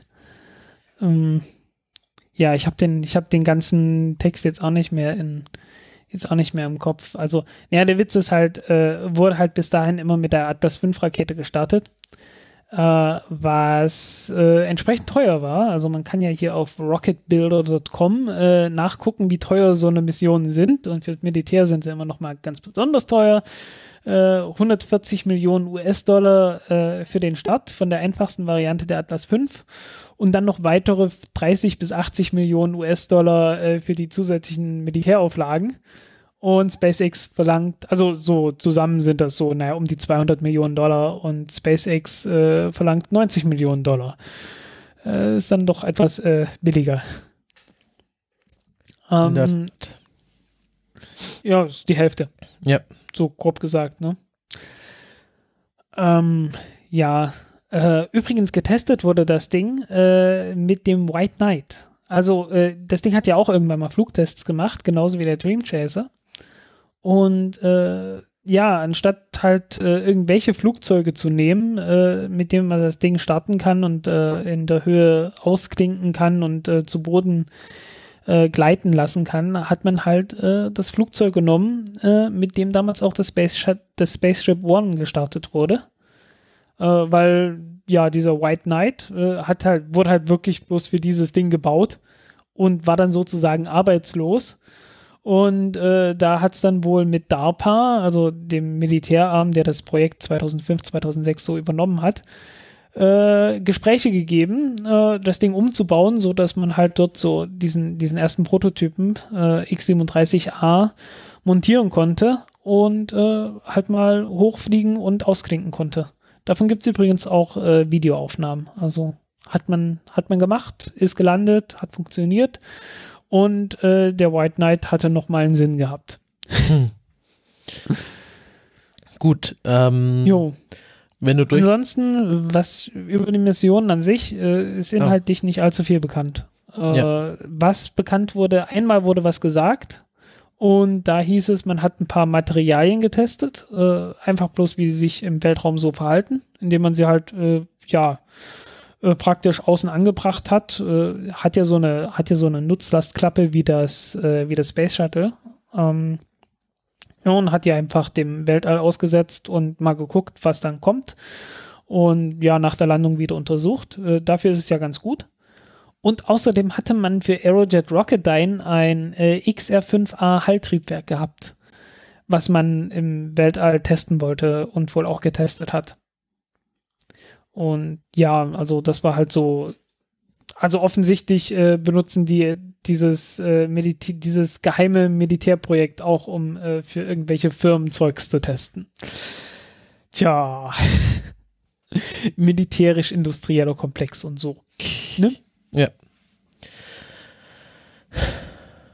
Gut. Jo, Ich glaube, ich glaube, dann sind wir fast durch. Ne? Also, achso, äh, vielleicht noch ein paar, paar technische Daten. Also damals, so lange wie es die NASA äh, gehabt hat, das Projekt, hat man ja technische Daten gehabt und veröffentlicht und hat gesagt, okay, das Ding wird äh, 8,92 Meter lang, Flügelspannbreite 4,55 Meter, Höhe 2,90 Meter, also ein relativ kompaktes Ding, also ja, äh, ja, bisschen größer als ein Auto, äh, ungefähr so groß wie zwei, wie zwei geparkte Autos hintereinander, bisschen breiter.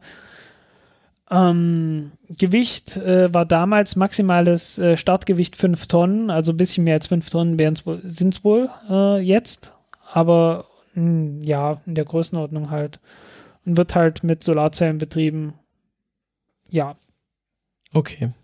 Nutzlast, Nutzlast kann so groß sein, 2 Meter, zwei Meter lang, 1,20 Meter Durchmesser. Ich habe das Gefühl, ich muss dich jetzt hier unterbrechen, bevor du. Nee, äh, du, bra du brauchst mich überhaupt nicht unterbrechen, weil ich bin hier gerade am Ende. Genau, bis am Ende und ähm, ich finde, wir sind jetzt auch mit der Sendung äh, am Ende. Genau. Und wir machen jetzt auch die Raketenvorhersage ähm, für, sagen wir mal, sind wir mal optimistisch, die nächsten zwei Wochen. ähm, das wäre dann. Die nächsten bis, zwei Wochen, ne? Also bis Ende November. Äh, da haben wir einmal eine äh, Delta 2, die ja heute fliegen sollte, aber dann doch verschoben. Die vorletzte. Die vorletzte Rakete äh, von diesem Typ. Äh, irgendwie, ich, ich habe immer so das Gefühl, jedes Mal, wenn eine Delta 2 Rakete startet, es wäre die allerletzte. Aber jetzt habe ich gelesen, es ist die vorletzte. Also eine ist noch. Ähm, über die müssen wir uns dann das nächste Mal unterhalten. Kannst du das mal in das Dokument reinschreiben? Äh, Delta 2 Rakete. Jo. Ja, schreibe ich mal fürs nächste Mal Delta 2. Gut, ähm, ich weiß, ich weiß, ich wird dann wahrscheinlich morgen irgendwann äh, fliegen mit dem äh, Wetterbeobachtungssatelliten Joint, Joint Polar Satellite Systems ähm, für die North Oceanic and Atmospheric Administration.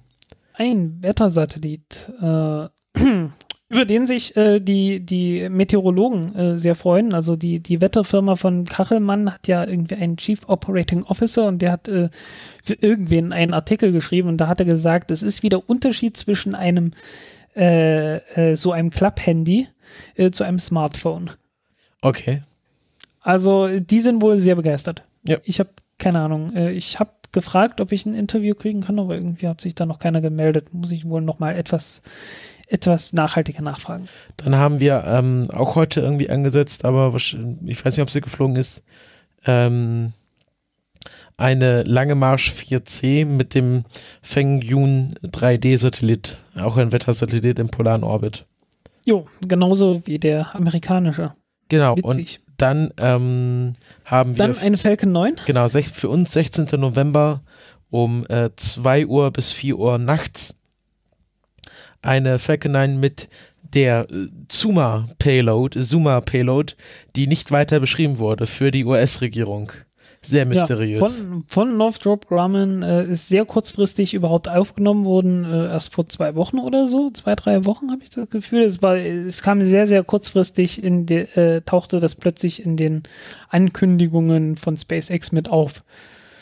Ähm, und zu guter Letzt eine Soyuz-Rakete am 28. November. Äh, auch wieder Polar, Meteor, Polar Orbiting, auch wieder ein Wettersatellit. Mensch. Also, also äh, wir werden das beste Wetter bekommen, das wir uns überhaupt vorstellen können. So wie es aussieht. Also zumindest äh, werden wir die besten Wetternachrichten und Wetterdaten bekommen. Hajo. Hajo. Ja, ansonsten. Ansonsten verbleibt uns nur zu sagen, vielen Dank fürs Zuhören. Unterstützt uns auf LiberaPay oder Patreon, je nachdem, wie ihr das haben wollt.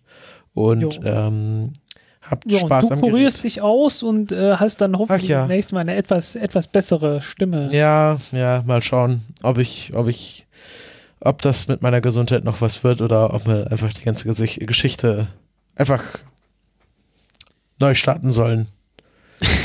Have you tried to turn it off and on again? Hm. Hajo. Also dann. Na gut. Gabt euch wohl. Tschüss. Tschüss.